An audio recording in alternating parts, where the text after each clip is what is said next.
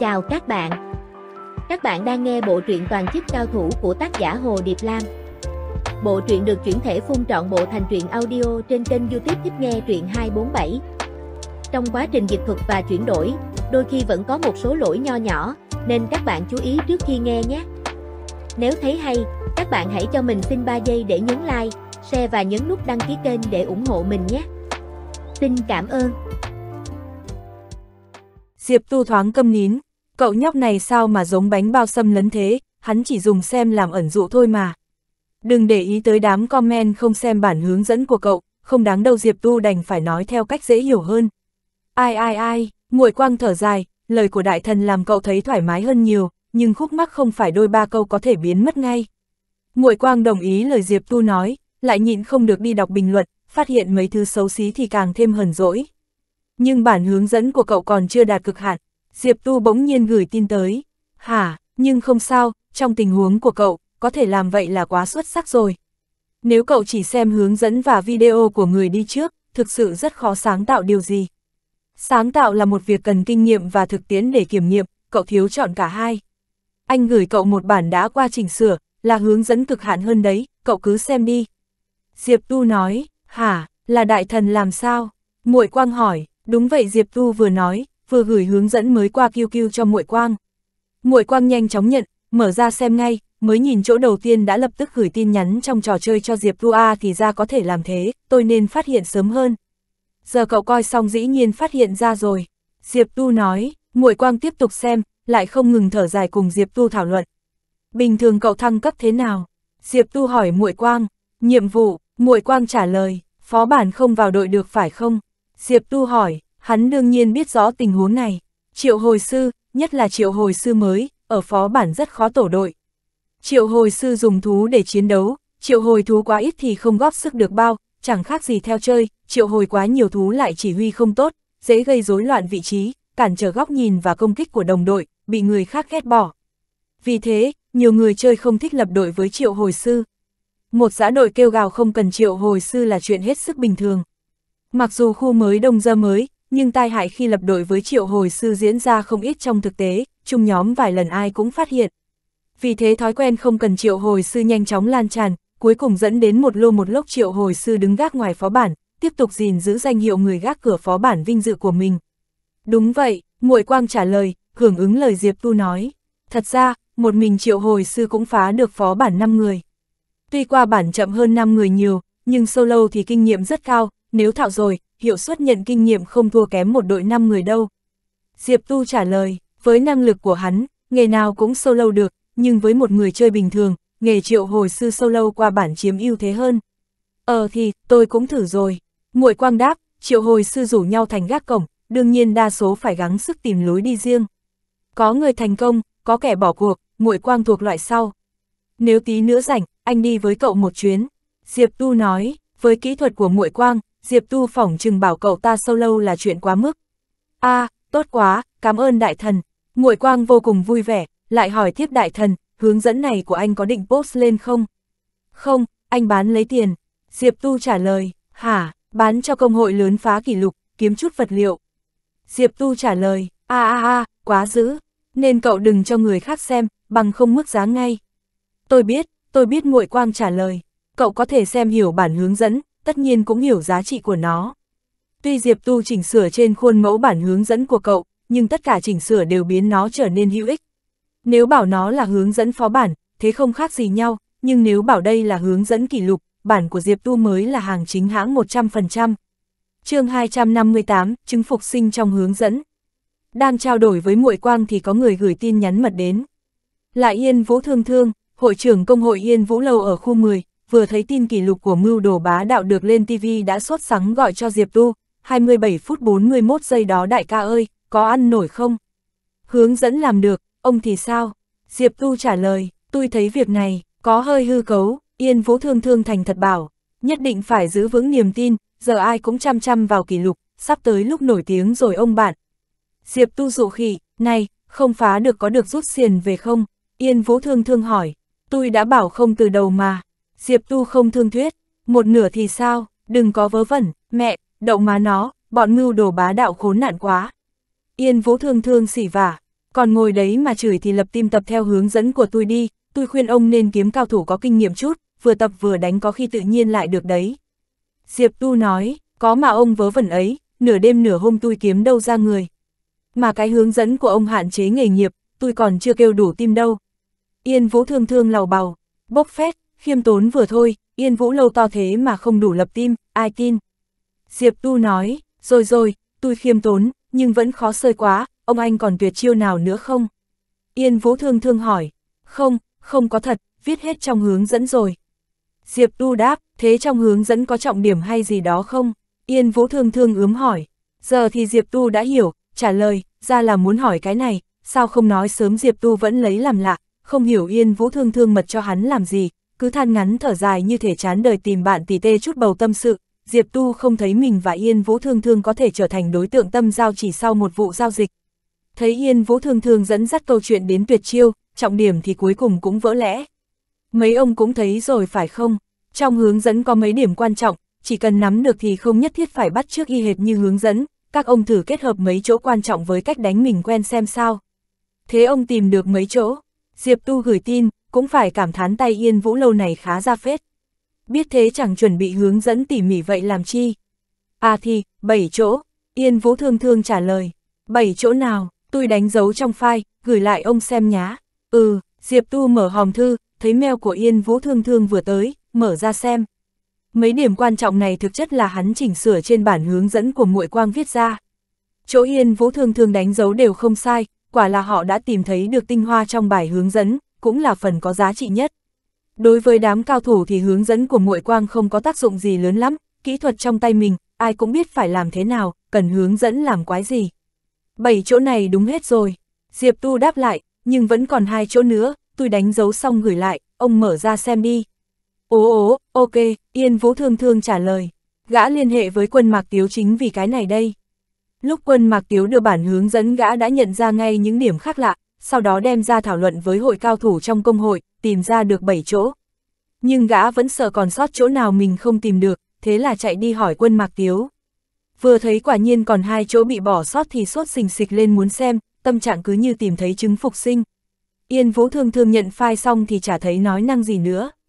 Diệp Tu cho là việc đã xong, chẳng ngờ một lúc sau lại thấy Yên Vũ Thương Thương gửi tin đến, ra rồi, kỷ lục ra rồi. Hả, ở đâu? Diệp Tu xem tin tức thì không thấy có gì mới, thậm chí còn cẩn thận mở bảng kỷ lục ra nhìn, vẫn là mưu đồ bá đạo dẫn đầu bảng.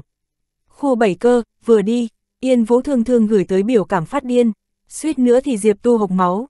Đương nhiên, hắn hiểu là vì Yên Vũ Lầu muốn thử theo hướng dẫn trước, không muốn phí lượt vào phó bản khu 10 nên mới cho cao thủ sang tập ở khu khác. Kể ra tay Yên Vũ Thương Thương này cũng tội, 11 giờ mới hoàn thành giao dịch, 12 giờ bắt đầu phá bản, trong một tiếng có thể triệu tập được từng ấy ức nghề phù hợp, khả năng phối hợp cao phết. Tiếc là hơi nhỏ, thử một lúc là ra được kỷ lục, sớm biết thế thì chạy sang khu khác làm gì cho mất công. Thành tích bao nhiêu, Diệp Tu vừa nhịn cười vừa hỏi, hắn có thể cảm nhận được Yên Vũ Thương Thương đang hối hận cỡ nào. 26 phút 11 giây 45, Yên Vũ Thương Thương đáp. Ngon, cũng khiến cả làng phải chố mắt á, thế khu 7 phản ứng thế nào? Diệp Tu hỏi, được huân chương vinh dự rảnh rỗi sinh nông nổi, Yên Vũ Thương Thương cay cú trả lời. Ở khu cũ, vì thập cầm lý do mà có một số lượng lớn người chơi không vào thần chi lĩnh vực. Người chơi không bị ép buộc phải đến thần chi lĩnh vực, ở lại khu cũ vẫn có vô số trò giải trí phục vụ cấp 70. Nhưng lấy ớt nhỏ đi phá kỷ lục phó bản thấp chả phải chuyện vẻ vang gì. Có phá bản cũng nên là phó bản 70 kia, thế giờ về khu 10 đánh đi thôi.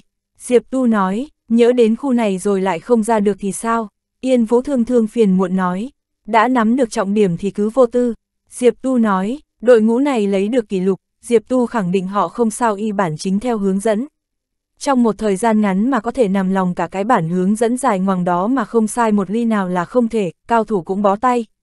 Thực chất hướng dẫn chỉ là giấy, người mới là sống, nắm được mấu chốt của bài hướng dẫn, nắm được lý thuyết trong đó mới là cách dùng hướng dẫn hiệu quả nhất. Nhóm cao thủ của Yên Vũ Lâu biết rõ điều đó, họ nhanh chóng bắt được trọng điểm trong hướng dẫn, hay chính là những chỗ Diệp Tu đã chỉnh sửa. Sau đó kết hợp phần Diệp Tu đã sửa cùng với cách đánh quen thuộc của mình, quả nhiên phá được kỷ lục khu 7. Trên thực tế, họ làm theo hướng dẫn rất ít, mong là thế, Yên Vũ thương thương trả lời, kèm theo một ai cần tươi cười, chứng tỏ tay này ngoài thì cứ bảo lo này sợ kia, trong lòng thì đã sướng dân rồi. phát hiện chứng phục sinh trong hướng dẫn đủ khiến thằng trả tự tin đầy mình. Sau lần đóng tin tức này hai người không liên hệ nữa. Diệp Tu cùng bốn người Tô Mộc Tranh, Đường Nhu, Kiều Nhất Phàm và Bánh Bao Xâm lấn tiếp tục đi phó bản. Hồi tán gấu cùng Ngụy Quang và Yên Vũ Thương Thương, hắn đều vừa chát vừa đánh, không bùng nổ tốc độ tay, chỉ giữ tiết tấu vừa phải, đánh quái, gõ chữ, kể ra cũng bận rộn không ngừng. Không phải theo đuổi kỷ lục nên cũng không còn gì căng thẳng nữa. Đường Nhu và bánh bao xâm lấn đều tập luyện giới hạn, Kiều Nhất Phàm cố gắng thao tác trận quỷ một tấc cho của mình, luyện cách thích ứng với mọi tình huống. Thành thử ra trông Diệp Tu lại thật giống một thằng tầm thường chỉ cần kinh nghiệm. Diệp Tu vừa đánh quái vừa để ý tin tức, sau khi mưu đồ bá đạo chiếm được kỷ lục, kênh thế giới lại bắt đầu nổi gió. Các công hội lớn vẫn im hơi lặng tiếng, bình luận đều từ những người chơi thông thường không liên quan gì đến kỷ lục. Ai cũng đoán giả đoán non bao giờ quân Mạc Tiếu sẽ lại nghiền nát kỷ lục, sẽ hơn bao nhiêu phút, lại có người lập bàn cá cược, hơn nửa đêm, kênh thế giới đông vui như Tết. Thời gian phó bản của Diệp Tu lần này là 33 phút, không có gì đặc biệt. Đi ra đổi cửa phó bản cũng phải nhòm trước ngó sau, dù sao thù hận của các công hội khác vẫn còn. Diệp Tu tính toán thời gian, đã gần một giờ, cũng là lúc các công hội lớn đi xong hai lượt phó bản. Nhưng nhìn một lúc vẫn không thấy hệ thống báo tin gì. Diệp Tu mở bảng thành tích ra, vị trí thứ hai và ba đã đổi chủ, nhưng khoảng cách 2 phút thần thánh của mưu đồ bá đạo thì vẫn bất di bất dịch. Yên Vũ Thương Thương lại gửi tin, nói rằng lần đầu của họ đã thất bại. Cố lên, Diệp Tu cũng chỉ có thể cổ vũ đến thế. Phá kỷ lục không được có sai lầm, có ai lúc nào cũng chuẩn chỉnh được đâu. Cũng không phải cố ý phạm lỗi, kiểu gì đêm nay cũng được. Lần này Yên Vũ Thương Thương tỏ ra đầy tự tin.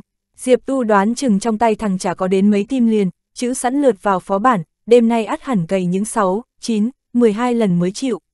Lúc nhóm Diệp Tu ra khỏi phó bản đã là một giờ rưỡi sáng, nếu thuận lợi thì các đại công hội đã quay xong 3 vòng phó bản, Diệp Tu lại xem bảng thành tích, tên thứ hai và ba lại đổi chủ. Đêm nay quả là một đêm cạnh tranh khốc liệt, nhưng tiếc là kỷ lục của mưu đồ bá đạo vẫn chếm trệ trên cùng. Cũng không ngoài dự tính của Diệp Tu, từng giao chiến với đội 5 người của mưu độ bá không phải một hai lần, hắn biết đó đều là pro trong các pro. Khi nhóm Diệp Tu tiến vào phó bản lần 3, kênh thế giới xuất hiện cả đống tin khoe khoang. Đều là đám người chơi của các công hội lớn lên cấp 34 sau 3 lần cày bản, giờ đang tâm bốc nhau tưng bừng trên thế giới. Sau đó, các công hội lớn lại hối hả chuẩn bị cạnh tranh cho một lần được tỏa sáng, chiếm đầu phó bản rừng rậm bừng cháy. Chiếm đầu không kém cạnh mấy so với kỷ lục, công hội nào có cơ hội đều muốn giành giật một phen. Các thành viên lên 34 đã sớm tổ đội, ba lượt khe núi nhất tuyến vừa xong, nhất thời trước cửa phó bản khe núi nhất tuyến đông nghìn nghịt, có thể thấy không ít công hội đã chuẩn bị từ rất sớm. Nhóm 5 người tưởng du cũng trà trộn vào nhóm này, tiếc là sau hai lần diệt đoàn với quân Mạc Tiếu, kinh nghiệm hao mất 20%, giờ đã bị tụt hậu, chỉ có thể đeo cấp 33 canh gác ngoài cửa khe núi nhất tuyến. Chẳng qua, vừa mới ghi được kỷ lục không gì phá nổi kia, 5 người hãy còn phơi phới chán. chương 259, Yên Vũ, ngày 24 tháng 12, 2 giờ 03 phút sáng. Tổng hội trưởng Tưởng Du và bốn tên cao thủ hàng đầu của mưu đồ bá đạo gửi lời chúc sau cùng đến đồng bọn đang phấn đấu vì cuộc chiến khai hoang khu mới. Năm người Tưởng Du đến vì kỷ lục, mong muốn ban đầu chỉ là vực dậy anh vọng của mưu đồ bá đạo. Đến bây giờ sẵn tiện dứt lùa mối lô quân Mạc Tiếu, kỷ lục của phó bản khe núi nhất tuyến cũng chiếm được dễ dàng, chuyến đi này quả là không bỏ công. Năm người đánh xong ba lần bản, nhưng cũng không vượt nổi thành tích lần đầu của mình. Sau khi ra khỏi bản, sứ mệnh vốn đã hoàn thành. Cả năm vẫn nhây ở đây cũng vì muốn chung vui cùng người chơi khu 10, sẵn xem xem quân Mạc Tiếu có quyền nợ không, có thật sự không động tay chân vào kỷ lục không. Lúc này, thời gian ra khỏi phó bản đã hơn nửa tiếng, hệ thống tin tức vẫn im ắng, ai nấy dần dần yên lòng. Không hề xảy ra chuyện thất hứa hay lợi dụng sơ hở lập ra một kỷ lục biến thái đè bẹp kỷ lục của họ. Được rồi, xin chính thức giao lại khu 10 cho các chú. Tưởng Du dùng lời thấm thía bảo ban đội trưởng khu 10 dạ độ hàn đàm và thành viên quan trọng dạ vị ương. Bốn người đi cùng gã là những nguyên lão quan trọng của mưu đồ bá đạo, các thành viên khu cũ đến khai hoang đều quen biết họ. Lúc này bốn người mặt đối mặt giao lưu thân thiết với từng thành viên, khuyến khích cả lũ mạnh mẽ lên. Đang cảnh hòa hợp, một tin hệ thống đột một xẹt qua giữa dòng tin tức cuồn cuộn. Người của mưu đồ bá đạo còn chưa nhận ra, đến lúc tin tức trôi mất, cả bọn mới chợt nhớ tới tin tức vừa đập vào mắt mình, hình như là bỏ mị, tất cả dường như nhận ra cùng một lúc, trong nháy mắt người của mưu đồ bá đạo đều thực hiện một động tác, di chuột qua khung tin tức kéo lên trên, tìm tin vừa nhảy ra đã bị trôi giặt kia. Nhưng không cần nữa rồi, Người của mưu đồ bá đạo có mơ màng bỏ qua thì số người ở khu 10 vẫn còn rất nhiều, có đứa nghĩa sơ, có kẻ nhìn rõ. Những kẻ in rõ bắt đầu bàn tán, những tin tức đa dạng làm cho mưu đồ bá đạo bỏ lỡ trước đấy, hiện đều spam về tin mà họ muốn tìm. Kỷ lục mới, nhìn ba chữ ấy, người chơi của mưu đồ bá đạo biết mình không hề trông gà hóa quốc, tin tức đập vào mắt họ chính là tin tuyên bố kỷ lục bị phá. Lễ chia tay đang diễn ra vui vẻ thì bầu không khí chợt chuyển sang nặng nề. Đúng, là bầu không khí nặng nề. Tuy ngồi trước máy tính nhìn màn hình, nhưng ai nấy lại thực sự nghĩ bản thân đã chìm vào cảnh giới kỳ lạ, cảm nhận chân thật bầu không khí ấy. Mất mát, bàng hoàng, đủ loại cảm xúc tiêu cực lan tràn thông qua Internet. Là ai? Tưởng Du bỗng nhiên mở miệng, hỏi một câu, miệng đầy cay đắng. Là ai? Còn không biết sao, có thể tra người lập kỷ lục trên bảng thành tích mà. Tưởng Du lại như không biết chuyện này, không hề nhìn thử, vì sao? Là vì không muốn nhìn thấy cái tên nào đó như, tưởng Du không nhìn, lại có người nhìn thay. Là Yên Vũ Lâu, lúc dạ độ hàn đàm đọc tên, trong giọng điệu thoáng chút nghi ngờ. Nhưng đó là sự thật, gã đã ngờ ngợ từ lúc mở bảng kỷ lục, vì vậy gã dòm đi dòm lại ba lần, quả thực là Yên Vũ Lâu, một chữ cũng không sai. Yên Vũ Lâu, tưởng Du lặp lại bằng một giọng điệu không thể tin nổi. Yên Vũ Lâu chính là một trong các công hội có câu lạc bộ, nhưng trong số những công hội mà mưu đồ bá đạo coi là đối thủ, rất hiếm khi gặp nhà này. Người chống lưng cho Yên Vũ Lâu chính là chiến đội Yên Vũ thuộc câu lạc bộ Yên Vũ, mà nó cũng là một sự tồn tại kỳ lạ. Cả đám thực sự rất có thực lực, lại luôn bị phớt lờ khả năng cạnh tranh của mình, đây ắt hẳn liên quan đến khí chất của họ. Mà khí chất có vẻ chịu ảnh hưởng bởi tuyển thủ át chủ bài. Tuyển thủ át chủ bài của chiến đội Yên Vũ là nữ. Một cô nàng thích xem phim truyền hình cầu huyết, thích tám nhảm xuyên biên giới. 20 câu lạc bộ trong liên minh, 20 chiến đội, chiến đội Yên Vũ là đội duy nhất có tuyển thủ át chủ bài là nữ. Trình độ và kỹ thuật của Sở Vân Tú không thấp, làm tuyển thủ át chủ bài của một chiến đội, chị được coi là một đại thần trong liên minh. Nhưng nếu so với nam tuyển thủ, biểu hiện của Sở Vân Tú lại không đủ mạnh mẽ, trong vài cục diện căng thẳng, tỷ lệ thắng của chị luôn rất thấp, mà những trận chị thua đôi khi lại tạo cảm giác rằng chị đang nhường. Chị vốn có thể kiên trì thêm chút, nhưng chẳng biết vì sao luôn lặng lẽ thua trận.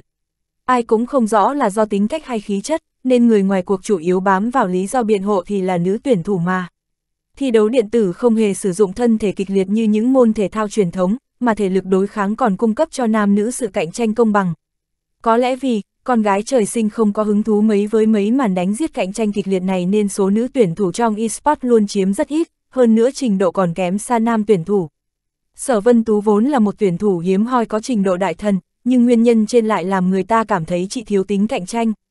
Một mình tuyển thủ át chủ bài đủ để quyết định phong cách và khí chất của cả chiến đội. Cuối cùng, chiến đội Yên Vũ được cho rằng thiếu tính cạnh tranh. Mà lịch sử của họ cũng nói rõ điểm ấy. Chiến đội Yên Vũ, sau khi Sở Vân Tú gia nhập liền tham gia vòng tứ kết suốt 3 năm liên tục. Nhưng dù biểu hiện ở những trận đấu thường xuất sắc đến đâu, họ sẽ luôn là người bị loại ngay vòng đầu tứ kết, hơn nữa còn trong hoàn cảnh rất mất mặt. Chiến đội Yên Vũ dường như chẳng thể thích ứng cuộc đua gay cấn và thảm khốc của vòng tứ kết. Lần đầu có thể nói là kinh nghiệm không đủ, nhưng lần hai rồi lần ba thì sao? Không thể bảo kinh nghiệm không đủ được, từ ấy, chiến đội Yên Vũ lẫn tuyển thủ át chủ bài của chiến đội Yên Vũ đều bị gắn mắc như thế. Chiến đội bị ăn bơ, công hội trong game online cũng bị bơ nốt. Quy mô của Yên Vũ lâu không nhỏ, cao thủ không ít, thế nhưng lại luôn giấu tài giữ sức trong nhiều cuộc cạnh tranh, nếu không như phù dung sớm nở tối tàn thì im ỉm luôn. Quá mềm yếu, quá nhu nhược, đây là Yên Vũ lâu trong mắt nhiều người, mà quan điểm ấy coi như cũng khá hợp với tuyển thủ át chủ bài Sở Vân Tú và chiến đội. Dù sao Sở Vân Tú cũng là một cô gái, thiếu nữ hơi yếu mềm, ai nấy đều hiểu. Nhưng Yên Vũ Lâu là một công hội được dựa chiếm số đông, lại đóng vai người đàn bà yếu đuối khiến người người phỉ nhổ. Mà mưu đồ bá đạo, từ lão đại cầm đầu đến chiến đội hay công hội, không đâu không bá và cứng, vậy mà bị người đàn bà yếu đuối Yên Vũ Lâu đạp xuống, kịch bản nhấp nhô thế này thật làm người ta khó thể chấp nhận. Yên Vũ Lâu, sao có thể? Âm lượng của tưởng du đột nhiên phóng đại, gã tự mình mở ra bảng kỷ lục phó bản, tra tìm phó bản khe núi nhất tuyến, tên treo đầu bảng quả thực là Yên Vũ Lâu, thành tích 25 phút 21 giây 78. Mưu đồ bá đạo hơn kỷ lục cả khu đến 2 phút, mà Yên Vũ Lâu hiện tại nhiều hơn họ 2 phút. Vẻ mặt tưởng du biến đổi, gã đã đích thân nghiên cứu phó bản này, gã không hề biết sao Yên Vũ Lâu có thể vượt những 2 phút. Mấy đứa trên đó chắc chắn là người của Yên Vũ Lâu chứ. Tưởng du có cố tới đâu cũng không tìm thấy tên quân Mạc Tiếu trong năm người, thế nhưng có mối họa này làm gương, không chừng lại có cao thủ tới đánh thay nhỉ. phải chăng chuyện mấy cha cao thủ giải nghệ kéo bè sang khu mới gây rối đám người thường đang lưu hành gần đây. Là người của Yên Vũ lâu hết, dạ độ hàn đàm xem qua bảng kỷ lục, cũng xác định thân phận của cả năm. Nhân vật thì đúng, nhưng biết đâu người điều khiển lại không phải, đéo biết xấu hổ gì cả. Tưởng đu nói, khụ dạ độ hàn đàm xấu hổ vờ ho khan một tiếng. Tưởng du nghe hiểu gã đang nhắc mình điều gì, hơi giật mình, lúng túng vô vàn. Chơi ở khu 10 nhiều ngày, dùng pháp sư nguyên tố thích vô giúp vui đã nhiều ngày, tưởng du thậm chí quên mất đây không phải nhân vật của mình, gã cũng là tên đéo biết xấu hổ gì cả như gã vừa nói. Cũng may, ngoại trừ dạ độ hàn đàm, không ai chú ý tới sự nhầm nhọt trong lời gã. Tất cả còn đang ngơ ngác nhìn kỷ lục mới của Yên Vũ Lâu, đồng thời nhìn cuộc bàn tán xôn xao trên kênh thế giới. Tất cả mọi người khóc không ra nước mắt, lúc này người chơi không hiểu chuyện ào ào bảo, mưu đồ bá đạo cùi vãi. Đéo cần quân mạc tiếu ra tay, kỷ lục cũng bị đạp xuống. Yên Vũ Lâu, công hội nào vậy mấy bố? Nhiều ma mới non nớt không hề biết gia cảnh của Yên Vũ Lâu, coi nó như một công hội nhỏ bé, nên càng nổi bật sự vô dụng của mưu đồ bá đạo. song lại có nhiều ma mới cả tin vào ý kiến ấy, cả lũ liên tục bàn tán trên kênh thế giới xem mưu đồ bá đạo có đủ mặt để mất không. Mặt, dù lúc mưu đồ bá đạo bị diệt đoàn, cũng làm gì có người nhắc đến chữ mặt này. Những cao thủ nổi giận, tầng lớp khác trong công hội nổi giận. Không đợi hội trưởng báo tin, thành viên trong công hội bắt đầu chửi lộn với thành phần anti mưu đồ bá đạo. Đám người tưởng du trông mà đắng lòng, người chơi của họ rơi xuống thế yếu, còn bị một đám ma mới nhảy từ đâu ra khinh bỉ tới thương tích đầy mình. Bó tay rồi, họ không có luận cứ để phản bác. Những lần chiếm đầu và kỷ lục mà họ cướp được đều có sự tham gia của quân Mạc Tiếu. Mà kỷ lục do chính họ tự hào giật được thì đéo cần quân Mạc Tiếu ra tay, một công hội ất ơ nào cũng đạp đổ được, đám ma mới nói như thế. Yên Vũ Lâu mà là một công hội ất ơ, mưu đồ bá đạo khóc không ra nước mắt, đây là kiểu nói gì hả? chương 260, trở lại vùng đất lưu lạc. Mưu đồ bá đạo giàu gấu mấy, kỷ lục lập ra cũng như không. Giây trước kỷ lục còn đứng đấy, giây sau kỷ lục đã bị thông. Giữa muôn vàn tiếng mắng chợt xuất hiện một câu thơ mang khí thế ngất trời, những kẻ tấn công gào hú khen ngợi, nháo nhào nhại theo, tiếng ca hát đùa vui trải đầy kênh thế giới, không ít người thay nhau chém tiếp, toàn thế giới lập tức trở thành hội thơ ca lấy chủ đề khinh bỉ mưu đồ bá đạo là chính, có người còn nghiêm túc thảo luận cách gieo vần bằng chắc. Tình cảnh này, người của mưu đồ bá đạo sao có thể không nổi giận, tưởng du bùng cháy ngay tại chỗ, kéo tin cũng moi ra cái thằng đầu tiêu câu thơ kia. Đừng ở đó nói cho sướng miệng, thằng tiên vô phong có ngon thì ra ngoài thành hay đấu trường PK với tao, thua nhai thẻ, dám không hả? Tưởng Du là hội trưởng công hội, lời nói và hành động đại biểu cho tất cả, chưa từng hổ báo thế này lâu lắm rồi. Nhưng giờ Cyclone, chỉ số nổi giận tăng vụt, đéo quan tâm gì nữa, chạy thẳng lên kênh thế giới khiêu chiến người ta. Thua ăn thẻ, đây là cách dùng từ mới ở Vinh Quang, đồng nghĩa với thua xóa ớt ban đầu trong game. Theo lý thuyết, có nhai thẻ cũng chả mất gì, có thể báo mất giấy tờ. Nếu muốn giống xóa ớt thì phải hủy thẻ, nhưng từ hủy thẻ không có khí chất mạnh mẽ gì cả, hô hào khiêu chiến nghe cứ ngu ngu, nên rằng người chơi thích cách nói nhai thẻ hơn. Không bao lâu sau khi tưởng du khiêu chiến, người chơi tiên vô phong trả lời, mưu đồ bá đạo dầu gấu mấy, kỷ lục lập ra cũng như không. Giây trước kỷ lục còn đứng đấy, giây sau kỷ lục đã bị thông. Tưởng du nổi điên, nhưng thời gian gửi tin trên thế giới còn đang CD, vì thế cướp máy của thằng khác, gõ tiếp solo PK, dám không hả? Không dám thì nín cho tao, bây giờ là thời gian CD của đối phương, mãi không thấy đáp lời, nhưng CD vừa hết, đối phương lập tức lên tiếng, mưu đồ bá đạo dầu gấu mấy, kỷ lục lập ra cũng như không. Giây trước kỷ lục còn đứng đấy, giây sau kỷ lục đã bị thông. Đù má nó, tưởng du sắp điên rồi, người xung quanh thấy gã tức giận nên chẳng dám hó hé, có điều với những kẻ trải qua bao sóng gió như họ, hành vi của tưởng du lúc này khá ấu trĩ. Làm hội trưởng của một trong ba công hội lớn, lại đích thân chửi lộn với ma mới trên kênh thế giới, hạ thấp đẳng cấp quá rồi. Còn tên khốn ma mới chả biết nhảy đâu ra kia vậy mà có kinh nghiệm phong phú, phất là sự khiêu chiến của tưởng du, biết đối phương đang nhìn nên cứ gửi đi gửi lại câu gợi đòn kia, thành công trong việc chọc tức tưởng du. Hội trưởng, anh bình tĩnh, tức là thua ngay. Mọi người vây quanh khuyên can. Bình tĩnh, bình tĩnh có ăn được không? Giờ kỷ lục bị thằng khác đạp, tụi bây bình tĩnh nói tao nghe xem phải làm gì. Tưởng du gào thét, người trong hay ngoài trò chơi đều nghe thấy. Đúng vậy, giờ phải làm gì? Mọi người nhìn hội thơ ca trên thế giới mà như nuốt từng trái đắng. Vào thời điểm nhộn nhịp ấy, năm người Diệp Tu vừa mới kết thúc chuyến phó bản cuối cùng ở khe núi nhất tuyến. Người khác mất một tiếng rưỡi xong cả ba, họ lại mất hơn một tiếng lãng phí cho việc đi vòng né tránh. Lúc tin phá kỷ lục của Yên Vũ Lâu hiện lên, Diệp Tu có nhìn thấy, Yên Vũ Thương Thương cũng lập tức gửi tin tới, còn tích cực thương lượng chuyện mua bán phó bản rừng rậm bừng cháy cùng Diệp Tu.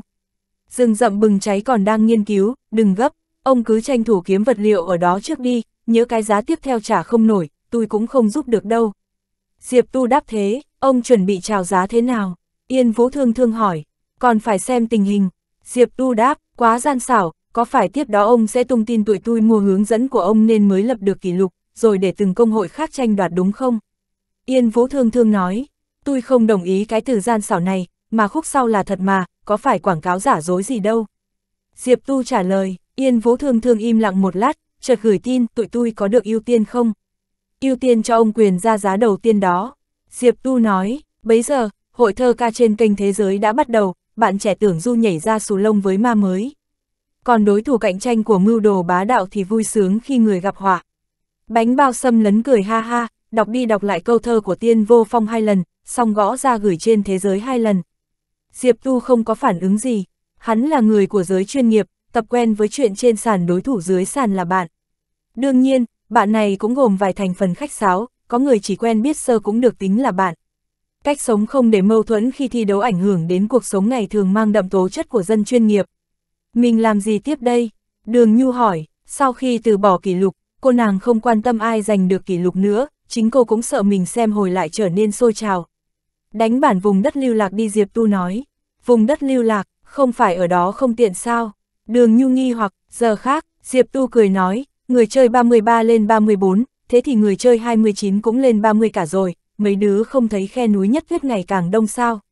Anh nói, có vẻ đúng, đường Nhu nhìn trái ngó phải, những người cày ở vùng đất lưu lạc vừa thăng cấp sẽ lao ngay đến phó bản mới. Tốc độ thăng cấp của mọi người rất giống nhau, tranh lệch không quá lớn, nhất là những người được các công hội lớn tổ chức đi phá bản. Diệp Tu giảng giải, tức là vùng đất lưu lạc vốn đông dân, nhưng hiện tại di dân sang khe núi nhất tuyến, nên vùng đất lưu lạc sẽ trở nên vắng người. Đường Nhu nói, cũng không vắng lắm đâu, nhưng tóm lại độ nguy hiểm sẽ thấp hơn, tụi mình sang đó xem thử rồi nói sau. Diệp Tu nói xong, tụi em ao trước, Tô Mộc Tranh và Kiều Nhất Phàm lại chuẩn bị ao trước. Mọi người chào tạm biệt nhau, Diệp Tu nhắn tin riêng cho Tô Mộc Tranh, giờ bỏ vụ kỷ lục rồi, em không cần chăm chỉ chơi game nữa đâu. Em muốn chơi, Tô Mộc Tranh đáp, ừ muốn chơi thì cứ chơi. Diệp Tu nói, ao trước đây, đi đi, hai người thoát game, ba người bọn Diệp Tu lại cẩn thận rời khỏi khe núi nhất tuyến, mà muội quang đã được Diệp Tu bảo chờ bên ngoài, bốn người lập đội rồi đi về phía vùng đất lưu lạc. Vùng đất lưu lạc, từ sau khi phá kỷ lục ở đây, đội 5 người của Diệp Tu đã cố định, cũng không còn lập đội với hai kẻ hay góp mặt cho vui Điền Thất và Nguyệt Trung Miên nữa. Tuy bọn họ vẫn còn giữ liên lạc, nhưng từ ngày bị cuốn vào vòng truy sát của các công hội lớn, Diệp Tu vì tránh ảnh hưởng mà không dám gọi họ sang nữa. Mà kể từ ngày bị đuổi giết, cả đám chưa từng quay lại đây. Mấy ngày nay, người chơi từ 33 lên 34, 29 lên 30, vừa hay trải qua một giai đoạn lớn. So ra, tốc độ lên cấp của bọn Diệp Tu quả thực bị trì hoãn, mất nhiều ngày vẫn không có gì đột phá. Muội Quang luôn dậm chân tại chỗ, mới cấp 32 lại cao nhất trong bốn người. Bốn người tụi anh đánh, Muội Quang cứ theo bọn anh đánh chung trước đã, có cơ hội sẽ cho em luyện tập thử. Diệp Tu nói, vâng, Muội Quang đáp, không ngờ tên nhóc như cậu cũng có cơ hội được lão đại chỉ bảo. Lão đại, tên này có tư chất gì? Em chả thấy gì cả. Bánh bao xâm lấn nói, lý thuyết vững, chỉ thiếu mỗi thực tiễn, em rảnh thì kéo cậu ấy đi. Diệp Tu nói, cái này làm khó em quá, nhưng nếu lão đại đã nói, em đành làm theo vậy. Bánh bao xâm lấn cố lắm mới chịu, nhưng vừa quay đầu đã đổi giọng nghiêm túc, tiểu muội quang, từ giờ tôi chính là lão đại của ông, qua kêu tiếng lão đại nào. Muội quang mà chịu lễ độ với bánh bao xâm lấn sao? Ai dồ gan thế, có dám solo cùng tôi không, thua nhai thẻ.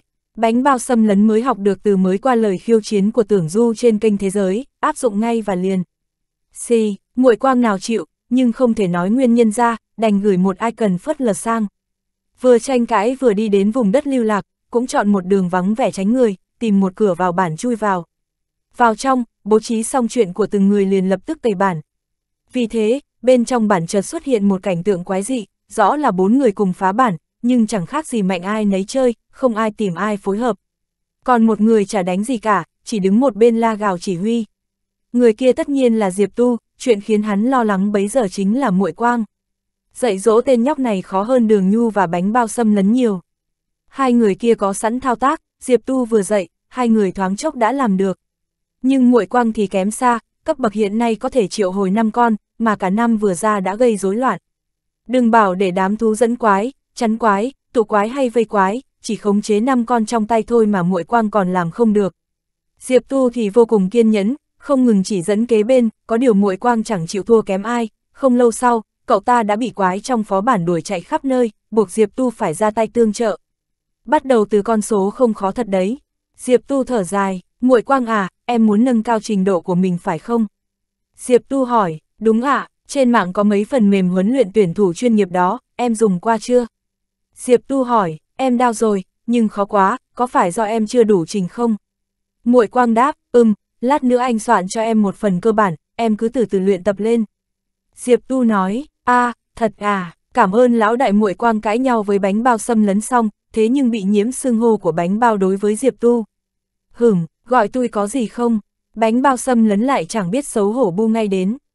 Cút đi, muội quang lại mắng, cảm ơn đại thần, đồng thời không quên sửa chữa cách xưng hô của bánh bao với Diệp Tu. chương 261, phải yêu lấy trò chơi. Chớp mắt trời đã tờ mờ sáng, Diệp Tu ngồi trước máy tính lười biếng duỗi eo. Sau đó đem phần luyện tập thao tác xếp theo cấp bậc đã được chỉnh sửa chi tiết gửi qua QQ cho muội quang. Hiện tại không còn ai trong game nữa. Đường nhu ao sớm nhất, xong ba đợt phó bản vùng đất lưu lạc, đến chừng 4 giờ sáng cô đã đi nghỉ trước. Từ ngày dạo phố với Trần Quả, đường nhu bỗng thay đổi thành hiện tại, không còn ngồi với Diệp Tu tới bình minh. Sau nửa đêm liền đi ngủ, rồi thức cũng sớm hơn Diệp Tu một chút. Diệp Tu mỗi ngày xuống lầu đã thấy cô với Trần Quả ngồi ở chỗ chuyên dụng của họ chơi vinh quang, đến 3 giờ chiều đường Nhu lại đi thay ca trực nét. Sau khi đường Nhu đăng xuất, muội quang chịu hết nổi bánh bao xâm lấn khiêu khích ẩm ý bên tai, cuối cùng quyết định kéo nhau vào đấu trường giải quyết. Còn Diệp Tu lại bị bánh bao xâm lấn một hai kéo đến làm khán giả. Kết quả trận này Diệp Tu không nhìn cũng biết, lấy trình độ muội quang hiện tại, PK với bánh bao xâm lấn thực sự là không đỡ nổi. Đánh 10 trận tạch hết 10 trận, cả một chút bất ngờ cũng không có, khoảng cách giữa hai người đã kéo đến mức nhất định. Ha ha ha ha, đã biết tranh lệch của tôi với ông Phỏng. Làm lão đại ông mới là thiệt thòi cho tôi đây nè. Sau khi ra đấu trường, bánh bao xâm lấn đắc ý bảo. Với người có thể tìm được niềm vui ở bất cứ đâu như bánh bao xâm lấn, chuyện trà đạp ma mới chẳng lấy làm thẹn bao giờ. Muội quang chỉ biết câm nín, Diệp Tu lờ mờ nghe được tiếng đập bàn phím đùng đùng bên kia. Truyền qua tai nghe đã như vậy, ở hiện trường còn ghê gớm tới chừng nào nữa. Bánh bao đừng đắc ý quá. Diệp Tu cảm thấy mình cần lên tiếng, em chỉ luyện trước người ta thôi, bắt nạt muội quang mới bắt đầu học cũng không hay đâu. Ha ha, em đang chuẩn bị dạy cậu ta thật tốt ấy chứ. Nhưng tên nhóc chết tiệt này thế nào cũng không chịu phục, nên đành phải dạy cho nó một bài học. Sao rồi tiểu muội quang, sinh động không? Ha ha ha ha, bánh bao xâm lấn tiếp tục đắc ý, giọng kiểu này ai mà tin cậu ta đang truyền dạy cho người mới.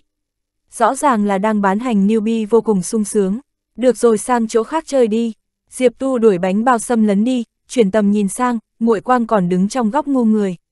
Đừng nản lòng, em mới bắt đầu thôi. Diệp Tu nói, ừ, em biết, muội quang đáp, chút nữa lên kêu kêu, anh chỉnh chút rồi gửi mấy thứ cho em. Diệp Tu nói, em treo suốt á, muội quang nói, vậy thì tốt, Diệp Tu nói, sau đó mấy tiếng bận rộn, tìm kiếm trên mạng, chỉnh sửa, sau đó phân loại riêng từng phần. Những thứ này, không chỉ muội quang, mà bất cứ ai yêu thích vinh quang đều có thể dùng. Chỉ là, cách huấn luyện của tuyển thủ chuyên nghiệp vô cùng buồn tẻ, người bình thường sẽ ít ai kiên trì. Không có kiên nhẫn, huấn luyện cũng không thể đến đâu. Diệp Tu chọn ra một phần thích hợp cho người mới như muội quang học. Thực lòng mà nói người mới mà dùng vật liệu chuyên nghiệp để huấn luyện cũng có chút hà khắc. Nhưng hiện tại Diệp Tu thấy, muội quang dù mới chơi, vậy mà nắm lý thuyết vững vàng chắc chắn, chứng tỏ là một người bền bỉ, sẽ có quyết tâm nâng cao trình độ của mình. Bánh bao xâm lấn quậy phá ma mới, thường thường Diệp Tu thường mắt nhắm mắt mở, cũng là để mượn chuyện khích tướng muội quang. Xem ra cách này có vẻ rất thành công, bánh bao xâm lấn ngây ngốc chọc điên người khác làm muội quang muốn bùng cháy, tiếng cào bàn phím trong tai nghe không phải đã chứng minh điều đó sao. Muội quang sau khi nhận được file Diệp Tu đưa, luôn miệng cảm ơn, Diệp Tu cũng nhắc cậu ta lưu ý chuyện thứ tự luyện tập. Còn thực hành thế nào, muội quang đầy tinh thần nghiên cứu học hỏi tất không cần Diệp Tu nhiều lời. Gửi cho muội quang xong, Diệp Tu nhìn thư mục, trong quá trình chỉnh sửa, hắn cũng thuận tay làm luôn mấy phần, đặc biệt chọn ra mấy phương pháp huấn luyện phù hợp với đặc điểm kỹ thuật của đường nhu và bánh bao xâm lấn. Nhưng, nghĩ đến sự tăng động của bánh bao xâm lấn, Diệp Tu cảm thấy phương pháp huấn luyện chán ngắt kiểu này cực kỳ không hợp với bánh bao. Bánh bao xâm lấn thích chơi game, vì game có thể mang lại niềm vui cho cậu ta. Nhưng khi niềm vui này biến mất, thái độ đối với trò chơi như thế nào sẽ không ai biết được. Thực ra tuyển thủ chuyên nghiệp dù trở thành tuyển thủ chuyên nghiệp, ngoài những vấn đề như bẩm sinh, kỹ thuật, ý thức, thì điều kiện tiên quyết chính là tình yêu với trò chơi. Như Diệp Tu, lăn lộn trong vinh quang 10 năm, nhưng vẫn chưa từng vơi chút nhiệt huyết nào. Không chỉ hắn, những tuyển thủ chuyên nghiệp không ngừng phấn đấu trong liên minh cũng vậy, đều vì yêu thích trò chơi này mà dấn thân vào. Nhiệt huyết ấy cũng không bị bào mòn theo thời gian, game thủ bình thường, có khi 2-3 tháng, hoặc nhanh hơn nữa sẽ đổi sang game khác, kẻ như vậy tất nhiên không thích hợp trở thành tuyển thủ chuyên nghiệp. Dù kỹ thuật của họ có xuất sắc như dân chuyên nghiệp, nhưng không có nhiệt huyết, trên đấu trường sẽ thể hiện phong thái khác hẳn. Nhiều năm qua, trong liên minh đã từng xuất hiện tuyển thủ như vậy. Bọn họ không thể làm được việc lớn, đây là chuyện đã được sự thật chứng minh hẳn hòi Bánh bao xâm lấn, vì có niềm vui, nên mới có hứng thú. Cậu mới vào vinh quang, trò chơi mới là tất nhiên có thể khiến cậu đầy hứng thú, nhiệt huyết 10 phần, nhưng hứng thú này có thể giữ bao lâu? Diệp Tu phát hiện hiểu biết của hắn với bánh bao xâm lấn vẫn chưa đủ, bình thường cứ nghe tên nhóc này phát biểu linh tinh chọc cười, cũng hiểu được chút ít chuyện trước khi chơi game, kỹ thuật chơi game cũng không biết luyện thế nào mà thành. Nhưng dù thế nào, cũng chưa đến nỗi phải ép bánh bao xâm lấn luyện theo phương pháp huấn luyện chuyên nghiệp. Nếu vậy chỉ sợ hứng thú với game sụt giảm, chuyển sang chống đối. Tên nhóc này, phải làm tự nó hiểu ra vấn đề, sau đó tự ý thức tìm giúp đỡ. Còn tệp vật liệu trước vẫn chưa ra đã, còn một tệp vật liệu khác là dành cho đường nhu. Cô em này luôn mong mỏi nâng cao trình độ, mong muốn đánh bại mình. Lý do buồn cười như vậy, vốn Diệp Tu cũng không tin cô sẽ kiên nhẫn được bao lâu. Nhưng theo hiện tại cố chấp của em quả thật không giống người thường. Trước khi ca, o được mình, có lẽ cô nương ta vẫn sẽ dốc lòng khổ luyện vinh quang. Chuyện tốt nhất là, trong quá trình rèn luyện đấy, càng lúc càng hiểu rõ vinh quang, đường nhu dần ý thức được trò chơi này cũng không chỉ dừng lại ở cũng đơn giản thôi mà. Như trước kia vẫn nghĩ, nhất là vật mẫu cô đang dùng so sánh, với người mới thật sự quá mức rồi. Nhưng đường nhu không biết điều đó, mà có biết thì cũng chẳng quan tâm, cô chỉ chú ý chuyện tranh lệch đôi bên, cũng nghiệm ra trò chơi này không hề đơn giản. Cô bé đã bắt đầu dần dần hứng thú với vinh quang. Ừ, em thế này có thể bắt đầu huấn luyện rồi. Diệp Tu nghĩ trong lòng, sau đó mở tệp vật liệu chuẩn bị cho đường nhu, xem lại từ đầu chí cuối, tự mình kiểm tra lần nữa, sau đó quyết định ngày mai sẽ giao cho đường nhu. Còn của bánh bao xâm lấn tạm giữ đã, tụi ngây ngô đôi khi cũng là một loại bí hiểm, người thường không tài nào tiếp cận, quan sát tư duy tụi đấy được. Diệp Tu làm xong thì đóng thư mục, trời lúc này vừa hửng sáng, còn nửa tiếng nữa thì 7 giờ. Diệp Tu cũng chẳng còn việc gì làm, lại đăng nhập vào game. Lúc này trong game là lúc yên tĩnh nhất, trên kênh thế giới cũng không thấy ai giao gì. Vụ lùm xùm của mưu đồ bá đạo với người chơi cả khu giúp không ít người được giải trí thỏa mãn. Thực ra những người chĩa mũi rùi vào mưu đồ bá đạo trên kênh thế giới cũng không hẳn thù hằn nhau, chỉ là hôi của góp vui một cách trong sáng thôi. Mấy người hát thơ gì đó, nói là châu mưu đồ bá đạo, chỉ bằng bảo mượn chuyện để nâng mình lên, làm người nổi tiếng trong phút chốc. Tưởng du chơi game lâu năm, chuyện đấy tất nhiên hiểu rõ. Nhưng đêm nay tâm trạng cực kỳ tệ, mới không kiềm chế được, may mà chơi clone, nếu không hẳn sẽ trở thành trò cười mới. Ua trên kênh thế giới mãi đến khi bọn Diệp Tu xong ba lượt vùng đất lưu lạc cũng chưa xong, Diệp Tu cũng không rảnh quan tâm. Lúc này lên xem, kênh thế giới đã yên tĩnh. Diệp Tu thuận tay mở danh sách kỷ lục khe núi nhất tuyến nhìn, vẫn không thay đổi, top một Yên Vũ Lâu và mưu đồ bá đạo xếp ngay sau vẫn chưa ai vượt qua. Lại dò xem danh sách bạn bè của mình, tên của mấy hội trưởng công hội phần lớn đều sáng, làm việc không thể nói là nhàn hạ, chỉ có điều trong đám này người vui kẻ buồn lẫn lộn, nước mắt đầm đìa cũng có nốt. Phá không được kỷ lục phó bản, ai ai cũng cảm thấy bực bội đôi chút, còn nước mắt đầm đìa, ngoài mưu đổ bá đạo thì còn ai vào đây. Diệp Tu cũng sẽ không đổ dầu vào lửa. Hắn và các công hội trước nay cũng không gây thù chuốc oán, chỉ là thứ hắn cần và lợi ích của các công hội xung đột nhau. Trong lúc xung đột, làm khê các, mưu đồ bá đạo ngã chồng vó, chỉ có thể trách bản lĩnh không bằng người ta thôi. Diệp Tu lên game giết thời gian trước lúc giao ca, đang dạo xung quanh, bỗng nhận được tin nhắn, mở ra là xem, thì ra là của hội trưởng mưu đồ bá đạo dạ độ hàn đàm. Đại thần, dạ độ hàn đàm thêm một cái emo chắp tay phía sau, hắn đã biết thân phận quân mạc tiếu, cũng hái hùng không thôi, nhưng sẽ không cúng bái.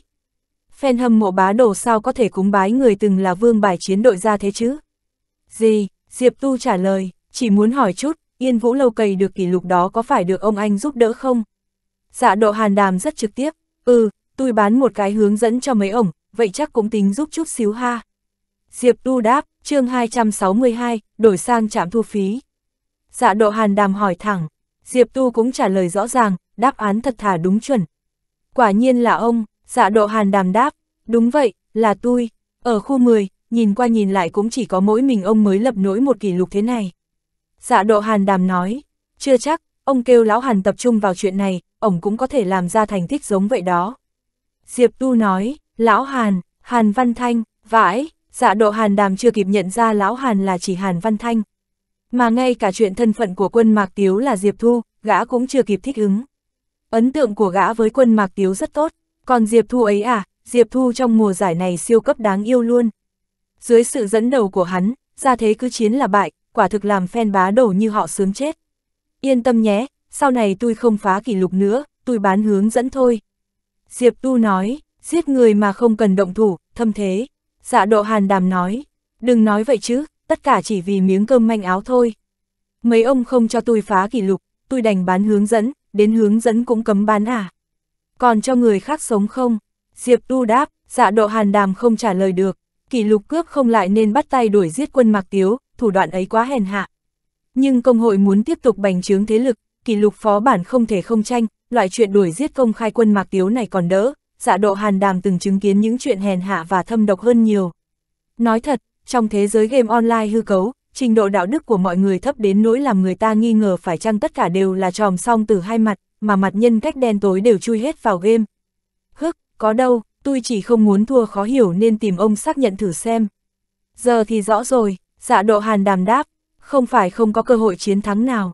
Diệp Tu bảo, có cách khác hả? Dạ độ hàn đàm đáp siêu nhanh, thì mua hướng dẫn đó. Diệp Tu trả lời, vãi, dạ độ hàn đàm lại mồ hôi đầy đầu, gã chợt nhận ra, việc bán hướng dẫn của quân Mạc Tiếu e rằng còn đáng sợ hơn dịch vụ đánh thuê hay lập kỷ lục. Bởi vì lần này, các công hội không thể ngăn cản hắn. Bán hướng dẫn không chỉ giới hạn trong game, nhưng với hoàn cảnh hiện nay của mưu đồ bá đạo, phương thức giật thẳng kỷ lục về chắc chắn là cách trả đòn mạnh mẽ và chuẩn men nhất, thậm chí còn tạo cảm giác khoái trá khi phản kích nơi đường cùng, tất sẽ hấp dẫn rất nhiều người. Vì vậy, dạ độ hàn đàm hứng thú với bản hướng dẫn ngay. Hướng dẫn gì? Dạ độ hàn đàm hỏi, là bản hướng dẫn mà Yên Vũ Lâu dùng để vượt qua kỷ lục của mấy ông. Diệp Tu đáp, giống y chang hả, chuẩn, thế sao ông dám bảo đảm tụi tôi vượt nổi bọn chúng? Dạ độ hàn đàm nói, tôi có nói bảo đảm đâu, chỉ nói mấy ông có cơ hội thôi. Diệp Tu đáp, ý ông là, cùng bản hướng dẫn, nhưng phải dựa vào phát huy của mỗi người sau này. Dạ độ hàn đàm nói, là thế đó, dạ độ hàn đàm không hổ là game thủ lão làng có kinh nghiệm phong phú, trong đầu gã nghĩ ngay đến tình cảnh, từ giày về sau, những công hội ôm ấp mộng kỷ lục ở khu 10, trước tiên phải mua hàng từ tay quân Mạc Tiếu, nếu không đội ngũ sẽ không có sức cạnh tranh, rớt từ vòng gửi xe. Thằng này không làm cướp nữa, chuyển sang mở trạm thu phí. Hướng dẫn của hắn sẽ trở thành vé thông hành cần thiết để lập nên kỷ lục. Tôi có thể coi thử trước không? Dạ độ hàn đàm ướm hỏi. Không, sao thế? Bởi vì quan hệ đôi ta hơi bị xấu, tôi sợ ông coi xong quyệt luôn vật liệu. Diệp Tu rất thẳng thắn, thế nhỡ đưa vật liệu xong ông không đưa hướng thì sao? Dạ độ hàn đàm hỏi lại, vậy đứa lỗ nặng là ông? Diệp Tu đáp, ông, dạ độ hàn đàm câm nín, thị trường đang thuộc về người bán, người cần hướng dẫn là họ, mà không phải quân mạc tiếu gào khóc xin họ mua hướng dẫn. Muốn hướng dẫn thì đưa vật liệu trước, ngoài ra không còn lựa chọn nào khác. Dạ độ hàn đàm buồn bực, dê ra mãi không quyết, tưởng du vẫn còn đang online, nhưng dạ độ hàn đàm không biết cảm xúc của gã đã ổn định chưa. Đột nhiên thông báo cho gã rằng quân Mạc Tiếu vẫn là chùm cuối nắm giữ kỷ lục khu 10, đã thế còn ngồi vững hơn trước, dám tưởng du ói máu rồi bị xe cứu thương lôi đi. 7 giờ tôi thoát rồi, ông có 15 phút suy nghĩ. Diệp Tu gửi tin đến, ông cũng có thể kiên nhẫn chờ tôi online lại, suy nghĩ đến ngày này năm sau cũng được luôn, trong trường hợp tôi còn ở đây. Hướng dẫn có thể bán cho ông bất cứ lúc nào, chỉ cần ông giao vật liệu. Không đợi dạ độ hàn đàm đáp, Diệp Tu lại gửi tiếp một tin. Muốn vật liệu gì? Dạ độ hàn đàm hỏi giá. Chờ, Diệp Tu đáp, sau một hồi suy ngẫm cẩn thận, lập tức gửi trả một danh sách. Mấy cái này, đều là vật liệu trong phó bản rừng rậm bừng cháy mà. Dạ độ hàn đàm vội ngó thử. Đúng đó, nhắc mới nhớ, quên chúc mừng mấy ông giết được viêm nữ vu tạp tu, còn chiếm đầu phó bản rừng rậm bừng cháy. Diệp Tu đáp, dạ độ hàn đàm không trả lời, tình hình đáng lòng ở khe núi nhất tuyến đã làm họ chẳng mặn mà gì với hai chuyện kia. Rừng rậm bừng cháy mới cày hôm nay thôi, không gom đủ mấy thứ ông muốn đâu. Dạ độ hàn đàm lại không hề nghi ngờ giá vật liệu. Diệp Tu đã tính toán cả rồi, mặc dù thay đổi những vật liệu khác với Yên Vũ Lâu, nhưng giá trị ngang nhau. Dạ độ hàn đàm cũng biết giá này rẻ hơn giá đánh thuê, có điều lời của gã là sự thực. Rừng rậm bừng cháy chỉ mới bắt đầu cày, mỗi đội có 3 lần cơ hội, vật liệu hiếm phải gặp được boss ẩn mới có được, hiện không kiếm được bao. Ừm, sao cũng phải kiếm được một chút chứ nhỉ, không bằng ông liệt kê hàng tồn kho của mình cho tôi chọn đi. Diệp Tu đáp, ông chờ chút, dạ độ hàn đàm nghiến răng gửi tin, có cần phải thương lượng với hội trưởng không ta? Dạ độ hàn đàm chợt xoắn suýt, chuyện hướng dẫn hiện nay chỉ có mình gã biết, thân phận của gã đủ để lấy vật liệu mua hướng dẫn. Rồi tiếp theo thì sao? Phá kỷ lục là chuyện của đám cao thủ như hội trưởng, gã phải giải thích thế nào đây? Tự mình viết, vậy sao giờ mới móc ra? Vừa mới nghĩ ra, thế sao trước đó không chịu nghĩ? Không thể nào giải thích được, bảo mua nhưng giếm quân mạc tiếu đi. Đù, không phải của quân mạc tiếu chú cũng dám mua. Dạ độ hàn đàm đau bi, cái cảm giác thù hận sâu sắc nhưng lại một lòng tin tưởng đối phương này là gì đây? Tự mình cân nhắc vài phút, dạ độ hàn đàm vẫn thấy nên thương lượng với mọi người, chẳng thế thì hướng dẫn không thể giải thích rõ. Chờ tôi xíu, dạ độ hàn đàm gửi tin cho quân mạc tiếu xong, nhanh chóng liên hệ đám tưởng du. Tóm tắt một cách ngắn gọn, rồi bắt đầu thấp thỏm chờ phản ứng của tưởng du. Nói thế thì, tên này đã tính sẵn hết rồi, vậy nên tối đó mới kéo theo bốn thằng ất ơ lên quyết đấu, chẳng hề để ý chuyện mình thua. Tưởng du lại ngẫm nghĩ sâu xa hơn, dạ độ hàn đàm giật mình, ban đầu gã không hề nghĩ vậy, nghe tưởng du nói mới vỡ lẽ ra, song không biết nên nói gì với tưởng du. Có điều thằng trả cũng bảo đội trưởng của tụi mình cũng làm được những chuyện hắn có thể làm. Dạ độ hàn đàm đột nhiên bảo, làm phiền đám đội trưởng liên tục, không có chừng mực gì cả. Tưởng du đáp, trong chuyện nào đó, suy nghĩ của gã luôn rất bình tĩnh. Vậy anh nói thử xem, dạ độ hàn đàm phát hiện cảm xúc của tưởng du bây giờ khá tỉnh táo. Tưởng du im lặng chừng một phút, rốt cuộc gửi một tin cho hắn vật liệu. Ok dạ độ hàn đàm đã ngầm ra quyết định, ngay cả chuyện sâu vật liệu cho quân mạc tiếu chọn gã cũng chẳng thấy sao. Hoàn cảnh hiện nay của họ rất khó khăn, nếu còn ra vẻ tranh chấp cùng quân mạc tiếu, đối phương chả bị gì, mà người chịu thiệt sau cùng sẽ là họ. Nhận được câu trả lời rõ ràng của tưởng du, dạ độ hàn đàm quay lại liên lạc cùng quân mạc tiếu, không nói thêm gì, chỉ hai chữ, được rồi. Mấy ông có vật liệu gì? Diệp tu hỏi, dạ độ hàn đàm mở hàng tồn kho, họ không kiếm được nhiều đồ bên rừng rậm bừng cháy. Quân mạc tiếu chọn đích danh giống vậy, họ gom không đủ, nhưng vẫn có thể trao đổi đồng giá được. Lúc này dạ độ hàn đàm gõ danh sách vật liệu xuống khung tin tức, gõ hồi, bỗng nhiên nảy ra ý đồ, giảm mấy thứ quân mạc tiếu cần xuống còn mấy cái. Mánh lừa này tuy hơi rừng mỡ, với năng lực của quân mạc tiếu, sớm muộn gì cũng cướp đủ mấy vật liệu đó. Nhưng dạ độ hàn đàm đang bực bội, thành ra mày muốn gì tụi tao cũng hết rồi, lấy mấy thứ mình không cần rồi tự đi gom đê. Diệp Tu xem danh sách dạ độ hàn đàm gửi tới, không nói gì cả, chọn hết thứ mình cần thì tiếp tục trao đổi mấy món đồng giá, sau cùng gửi lại, dạ độ hàn đàm nhìn xong cũng ok. Vật liệu được chuyển phát nhanh sang, Diệp Tu cũng mở hòm thư gửi ngay hướng dẫn qua, là bản đã gạch đỏ những điểm quan trọng, mưu đồ bá đạo được miễn quá trình tìm chứng phục sinh đầy phiền não. Dạ độ hàn đàm như nhận được vật báu, mở phai ra, đang chuẩn bị nói gì thì quân mạc tiếu đã lóc ao. Dạ độ hàn đàm chợt luống cuống, chẳng lẽ bị lừa. Hướng dẫn là giả, nghĩ vậy gã gấp rút mở hướng dẫn ra, mới nghía qua số trang đã cảm thấy mình bị trâu, có hướng dẫn nào thế này ư. Nhưng nhìn lần nữa mới phát hiện nó khác với những bản hướng dẫn cùng dạng, nó tường tận đến mức lê thê vô tội vạ. Đệt, thu phí theo chữ hả? Dạ độ hàn đàm thầm mắng mỏ, rồi nhanh chóng phát hiện những chỗ tô đỏ, khi nghĩa sơ không chú ý mấy nhưng lướt qua thì nhận ra điểm thú vị trong đó ngay. Thì ra là thế, ngừng lại xem hết một đoạn, dạ độ hàn đàm giật mình. Chuyện hướng dẫn đến đâu rồi? Bên kia, tưởng du thúc giục, chương 263, hoạt động Noel. Dạ độ hàn đàm gửi hướng dẫn cho tưởng du và mọi người để cùng nhau nghiên cứu. Gút mắc với quân mạc tiếu đã không lời nào có thể miêu tả nổi. Nhất là sau từng ấy chuyện, cả lũ nhận ra muốn phá kỷ lục vẫn phải nhờ vào quân mạc tiếu, biết thế lúc trước việc quái gì phải xoắn lên làm lắm trò như vậy. Giờ biết quân mạc tiếu thực chất là ai thì tâm trạng lại thoải mái hơn rồi. Là Diệp Thu đó, tuy cái tên ấy chả được quý mến gì ở mưu đồ bá đạo, nhưng lúc này lại làm bọn tưởng du phởn không ít. Chí ít cũng biết mình đối mặt với một đối thủ tầm cỡ thế nào, thua không bẽ mặt lắm. Mọi người tự an ủi bản thân như thế, chẳng qua cái lý do này rất khó để nói ra, nên ai cũng ăn ý mà không nhắc đến Diệp Tu, cũng không đề cập đến quân Mạc Tiếu, chỉ yên lặng tập trung vào bài hướng dẫn, có chỗ nào vướng mắc thì đem ra thảo luận, một câu lạc đề cũng không.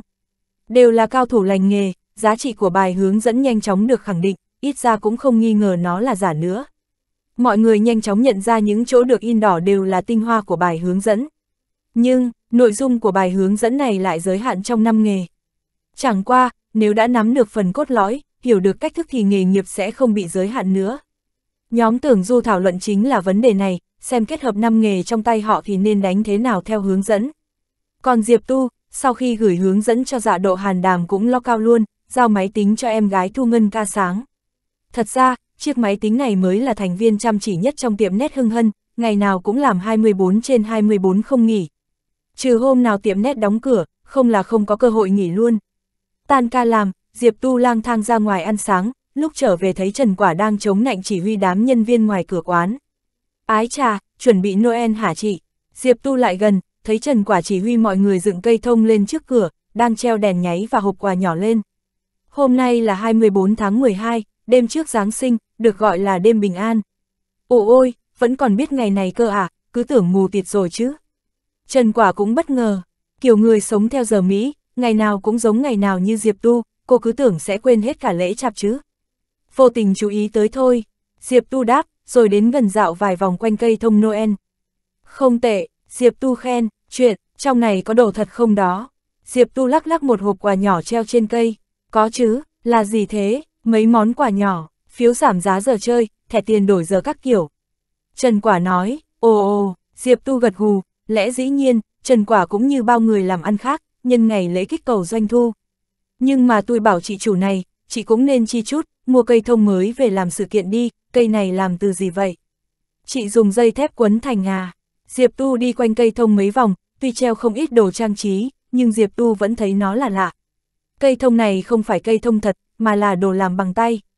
Làm bằng tay thì sao? Trần Quả đi tới hỏi. Không sao, nhưng không đẹp bằng cây thật thôi, nhìn cũng cũ rồi, chị làm năm ngoái à?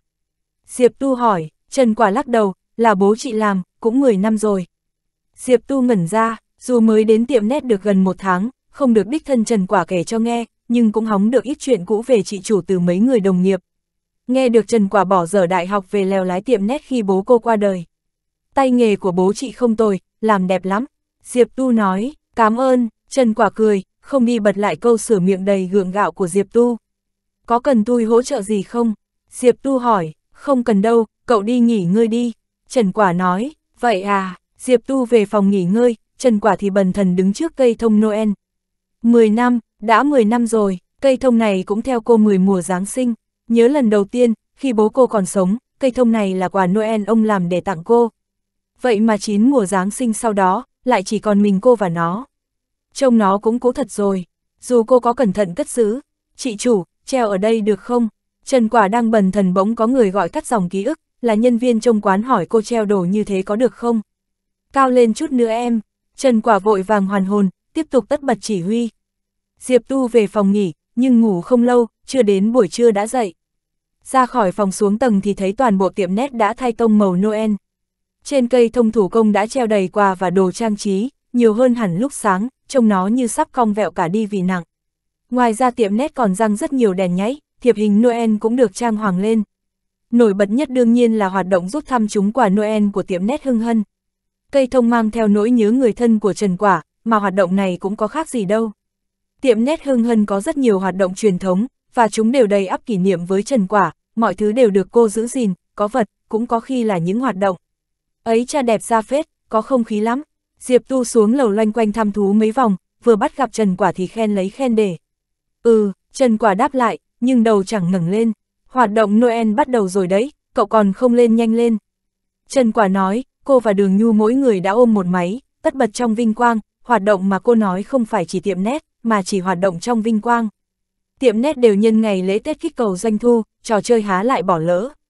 Một năm có đủ các ngày Tết lớn lễ bé, tất cả đều mở ra vài ba hoạt động để nâng số lượng người chơi. Hàng năm Vinh Quang mở khu mới cũng vì vậy.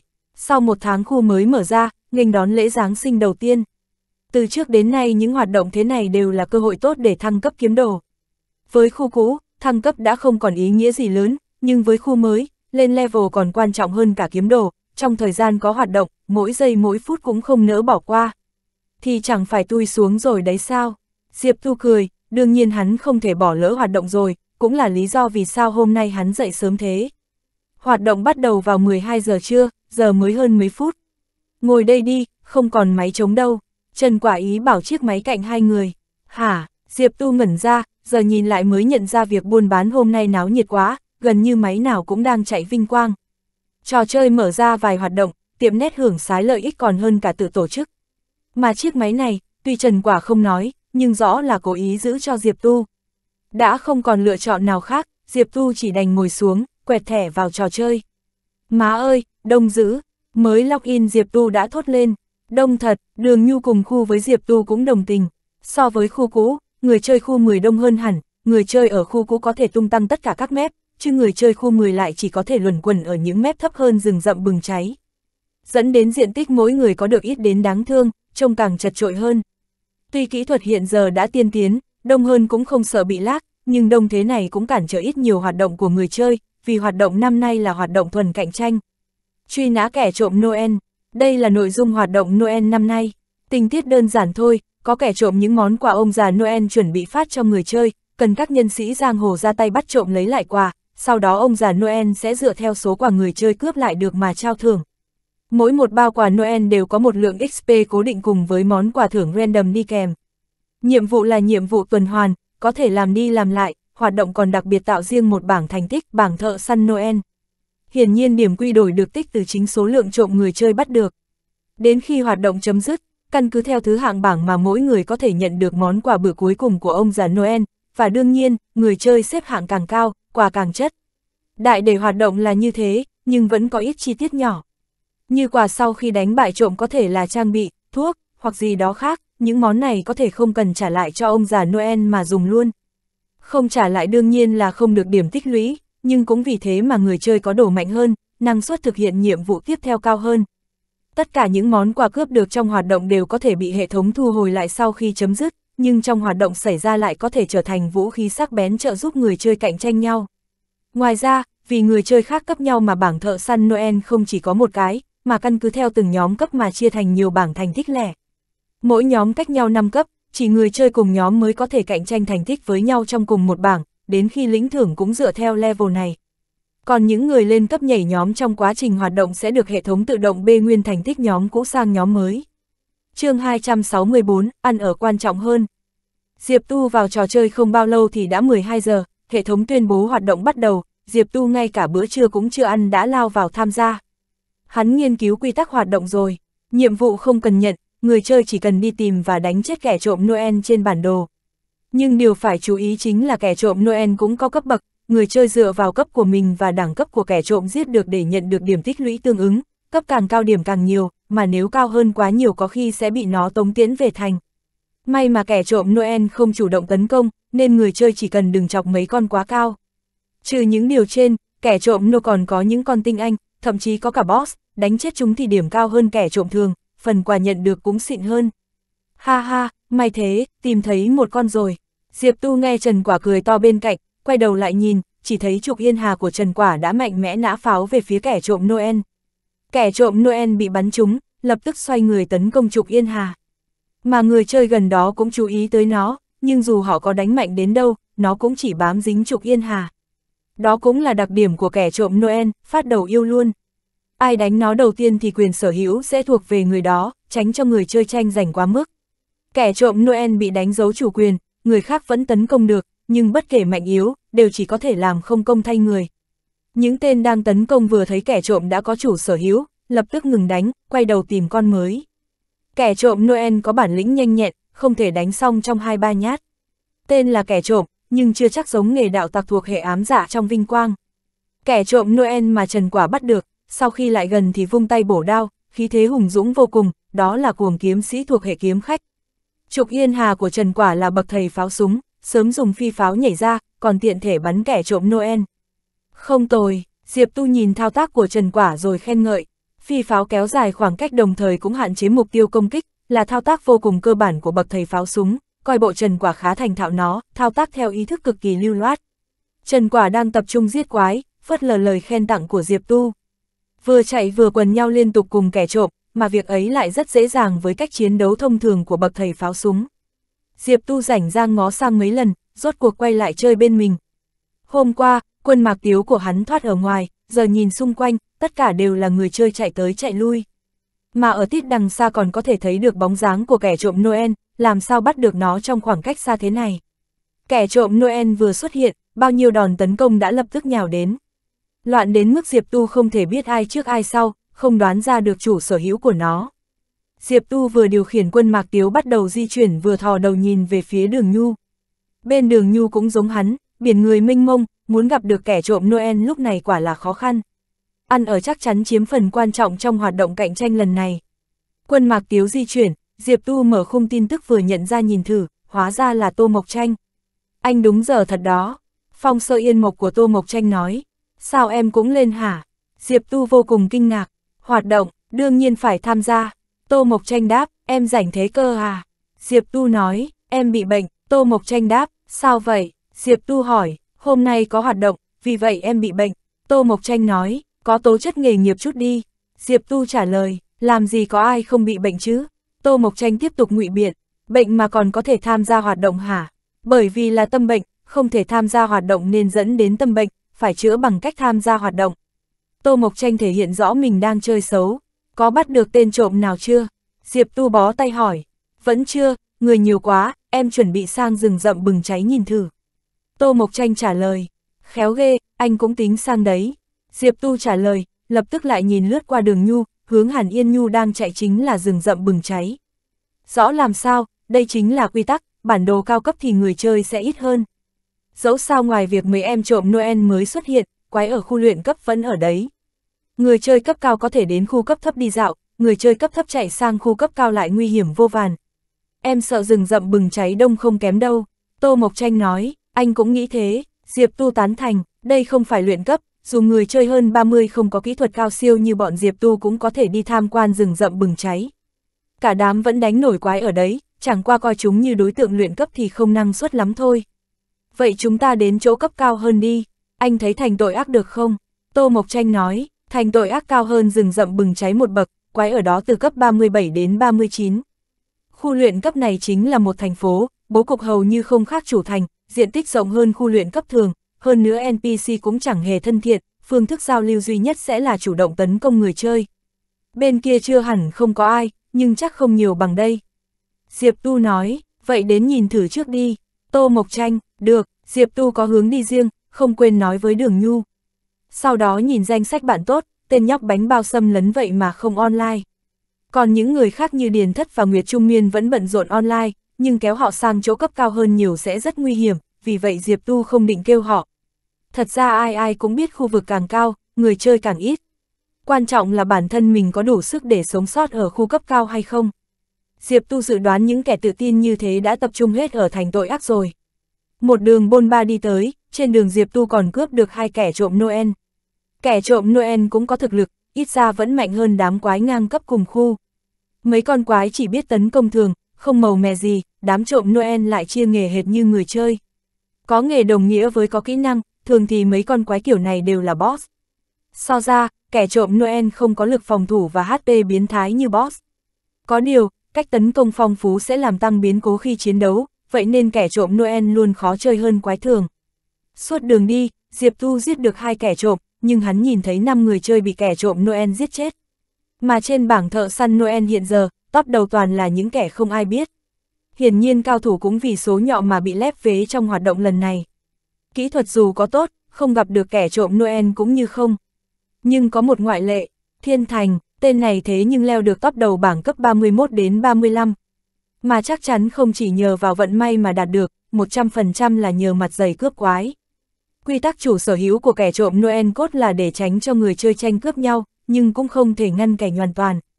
Mà nó còn làm cho hiện tượng cướp đoạt ngày càng dữ dội hơn. Không thể dựa vào lực sát thương để cướp quái, vậy chỉ có thể giết người cướp quyền sở hữu, kẻ trộm Noel ấy sẽ trở nên vô chủ, sau đó thì cứ chiếm nó thôi. Nhưng làm thế sẽ khiến bản thân trở thành vai phản diện. Diệp Tu cho rằng nếu Thiên Thành đứng vững được trên bảng xếp hạng, vậy chủ đề chung trên kênh thế giới hôm nay sẽ là chỉ trích tên cướp quái mặt dày nào đấy. Tính ra tên kia chắc đoạt được kha khá rồi, trên thế giới vẫn chưa có ai mắng sao. Trước khi chú ý tới bảng xếp hạng, Diệp Tu quả thực không lưu ý chuyện này, giờ nhìn lên kênh thế giới, tất cả đều là tiếng mắng chửi hoạt động như xít, giết không được kẻ trộm Noel. Nhìn kênh thế giới, Diệp Tu chợt nhớ tới sự cay đắng tối qua của mưu đồ bá đạo. Tuy chuyện giật kỷ lục chẳng còn quan trọng, nhưng Diệp Tu vẫn mở bảng xem thử. Bảng xếp hạng không hề thay đổi, mưu đồ bá đạo cũng chỉ mới mua bảng hướng dẫn vào sáng nay. Có điều, Yên Vũ lâu lấy được hướng dẫn, rồi phá kỷ lục chỉ sau một tiếng. Diệp Tu không hề cảm thấy tố chất của mưu đồ bá đạo lại kém đến thế. Thêm hoàn cảnh của họ, cả đám hẳn nên mau chóng giật kỷ lục. Làm theo hướng dẫn của hắn, tuy chưa chắc đạp được Yên Vũ lâu xuống nhưng ít ra phải để lại dấu chân, không lặn mất tăm giống như bây giờ. Nghĩ đến đây, chắc là mưu đồ bá đạo không có tài khoản thích hợp nhỉ. Nhân vật quan trọng được bồi dưỡng, tất nhiên sẽ tích cực luyện cấp, sáng này hẳn là cày hết số lần phó bản khe núi nhất tuyến rồi. Không chừng mưu đồ bá đạo có nhân vật, nhưng phải chờ đến mai mới có số lần đánh bản. Chật chật, chờ suốt cả ngày, không chừng tim đang dỉ máu đây. Diệp Tu cảm thán, giờ hắn chỉ hóng hớt, không định thiên vị nhà nào. Mà trước mặt hắn, thành tội ác, khu luyện cấp từ 37 đến 39 đã xuất hiện. chương 265, thành tội ác, thành tội ác, ngay khi tiến vào khu luyện cấp, cả sắc trời cũng thay đổi. Bầu trời phủ đầy mây đen, mưa phùn bay lất phất, thỉnh thoảng lại âm vang tiếng sấm. Cả thành phố đều là sắc tối tà ác, giữa cơn mưa phùn, tầm nhìn bị hạ thấp. Tiếng mưa rơi ào ạt và tiếng sấm rền vang càng khiêu chiến thính lực của người chơi. Trong vinh quang có rất nhiều nguy cơ xuất phát từ phía sau, buộc người chơi phải phát hiện bằng thính giác và kinh nghiệm. Quân mạc tiếu của Diệp Tu vừa bước vào thành, trên trời chợt nổi sấm, một tia chớp sáng lóe đánh từ trên cao xuống, soi trắng xóa đường phố trong phút chốc. Diệp Tu đột nhiên ra tay vào lúc này, xoay chuột, quân mạc tiếu nghiêng người chĩa ô thiên cơ sang trái. Ô bung ra, lật ngược rồi khép lại, một tiếng phập, lòng nhà đánh trúng mục tiêu bên trái. Tia chớp tiếp theo dọi sáng một khuôn mặt dữ tợn trắng bệch, cả mặt đầy nước mưa, nó đang đâm cây dao găm trong tay về phía quân Mạc Tiếu, ai ngờ lại trúng trước một mâu của quân Mạc Tiếu. Đây là cư dân của thành tội ác, cũng là quái luyện cấp ở đây. Đồ họa của Vinh Quang rất tinh tế, mỗi NPC quái thôi cũng được tạo nên tùy từng mẫu nhân vật trong game. Đến cả lũ quỷ lùn trong rừng, nếu nhìn kỹ sẽ phát hiện dáng vẻ của chúng không hề giống nhau. Chẳng qua đối với loại quái không phải con người, người ta thấy chúng y chang nhau. Còn những con quái hình người, người chơi có thể nhìn phát biết ngay sự khác biệt về mặt mũi, giới tính, hình dáng vân vân. Chẳng qua mấy đặc điểm ấy chỉ để tăng thêm độ chân thực và sống động của thế giới ảo, không ảnh hưởng gì đến trình độ chiến đấu của nhân vật. Long Nha đánh chúng, chiêu thiên kích nối tiếp đã hất tên nọ lên không.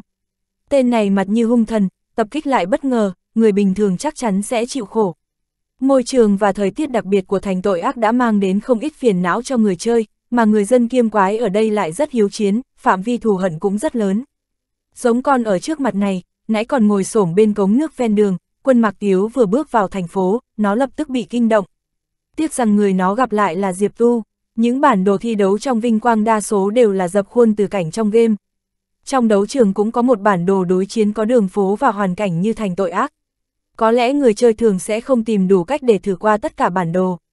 Nhưng Diệp Tu thì khác, hắn là tuyển thủ chuyên nghiệp, bất kỳ bản đồ nào cũng cần các tuyển thủ luyện tập và quen thuộc. Diệp Tu có kinh nghiệm chơi game nhiều năm, trải qua bao năm sống kiếp chuyên nghiệp, còn cảnh nào trong vinh quang mà hắn chưa quen chứ? Thành tội ác ư, người mới tới đây lần đầu, tầm nhìn hạ thấp và âm thanh nhiễu loạn có thể gây áp lực cho họ. Đám cư dân thình lình tấn công cũng làm họ giật mình. Nhưng với Diệp Tu, mấy thứ này quá thường, hắn đối phó chúng chẳng khác gì đám dễ xử nhất ở ngoài bản đồ thôn tân thủ. Sau chiêu thiên kích, ô thiên cơ trong tay quân mạc tiếu lại chuyển đổi hình thái chiến đầu, tùy ý mà đánh đủ loại kỹ năng. Chỉ một con quái luyện cấp nhỏ nhoi đã gây phiền phức cho hắn, vậy Diệp Tu cũng quá xin lỗi thân phận mình. Có điều sự áp chế cấp bậc quá cao vẫn khiến lực sát thương của quân mạc tiếu suy yếu, dù không quá mệt mỏi, nhưng mất một khoảng thời gian mới đánh chết được cư dân nọ. Tiếc rằng bất kỳ cư dân nào trong thành tội ác cũng đều cao hơn quân mạc tiếu 5 cấp, cuối cùng kinh nghiệm đạt được chẳng khác gì quái giết được ở thôn Tân Thủ, ít đến không đủ an ủi. Diệp Tu không muốn lãng phí thời gian để kiếm kinh nghiệm từ đám cư dân, đánh chết một em thì cẩn thận quan sát xung quanh. Hướng 9 giờ, 11 giờ, 1 giờ đều có cư dân đang lắc lư. Phạm vi thù hận của đám cư dân đã bị người chơi nghiên cứu được từ lâu, thường thường người chơi sẽ nắm khoảng cách bằng cách di chuột để xác định tọa độ, còn cao thủ hàng đầu có kinh nghiệm đầy mình như Diệp Tu, khoảng cách có thể nắm rõ bằng cảm giác. Chỗ đứng của ba tên lấp hết điểm chết trên đường, đi từ hướng nào cũng phải tiến vào phạm vi thù hận của chúng. Có điều, ba tên kia cũng không đứng yên, hết đi qua rồi đi lại. Diệp Tu chú ý kỹ, quân mạc tiếu đi về phía trước, lao tới, canh đúng lúc cư dân hướng 9 giờ rời về trái hai ô, Diệp Tu vội nắm lấy cơ hội, điều khiển quân Mạc Tiếu nhanh chóng xông đến.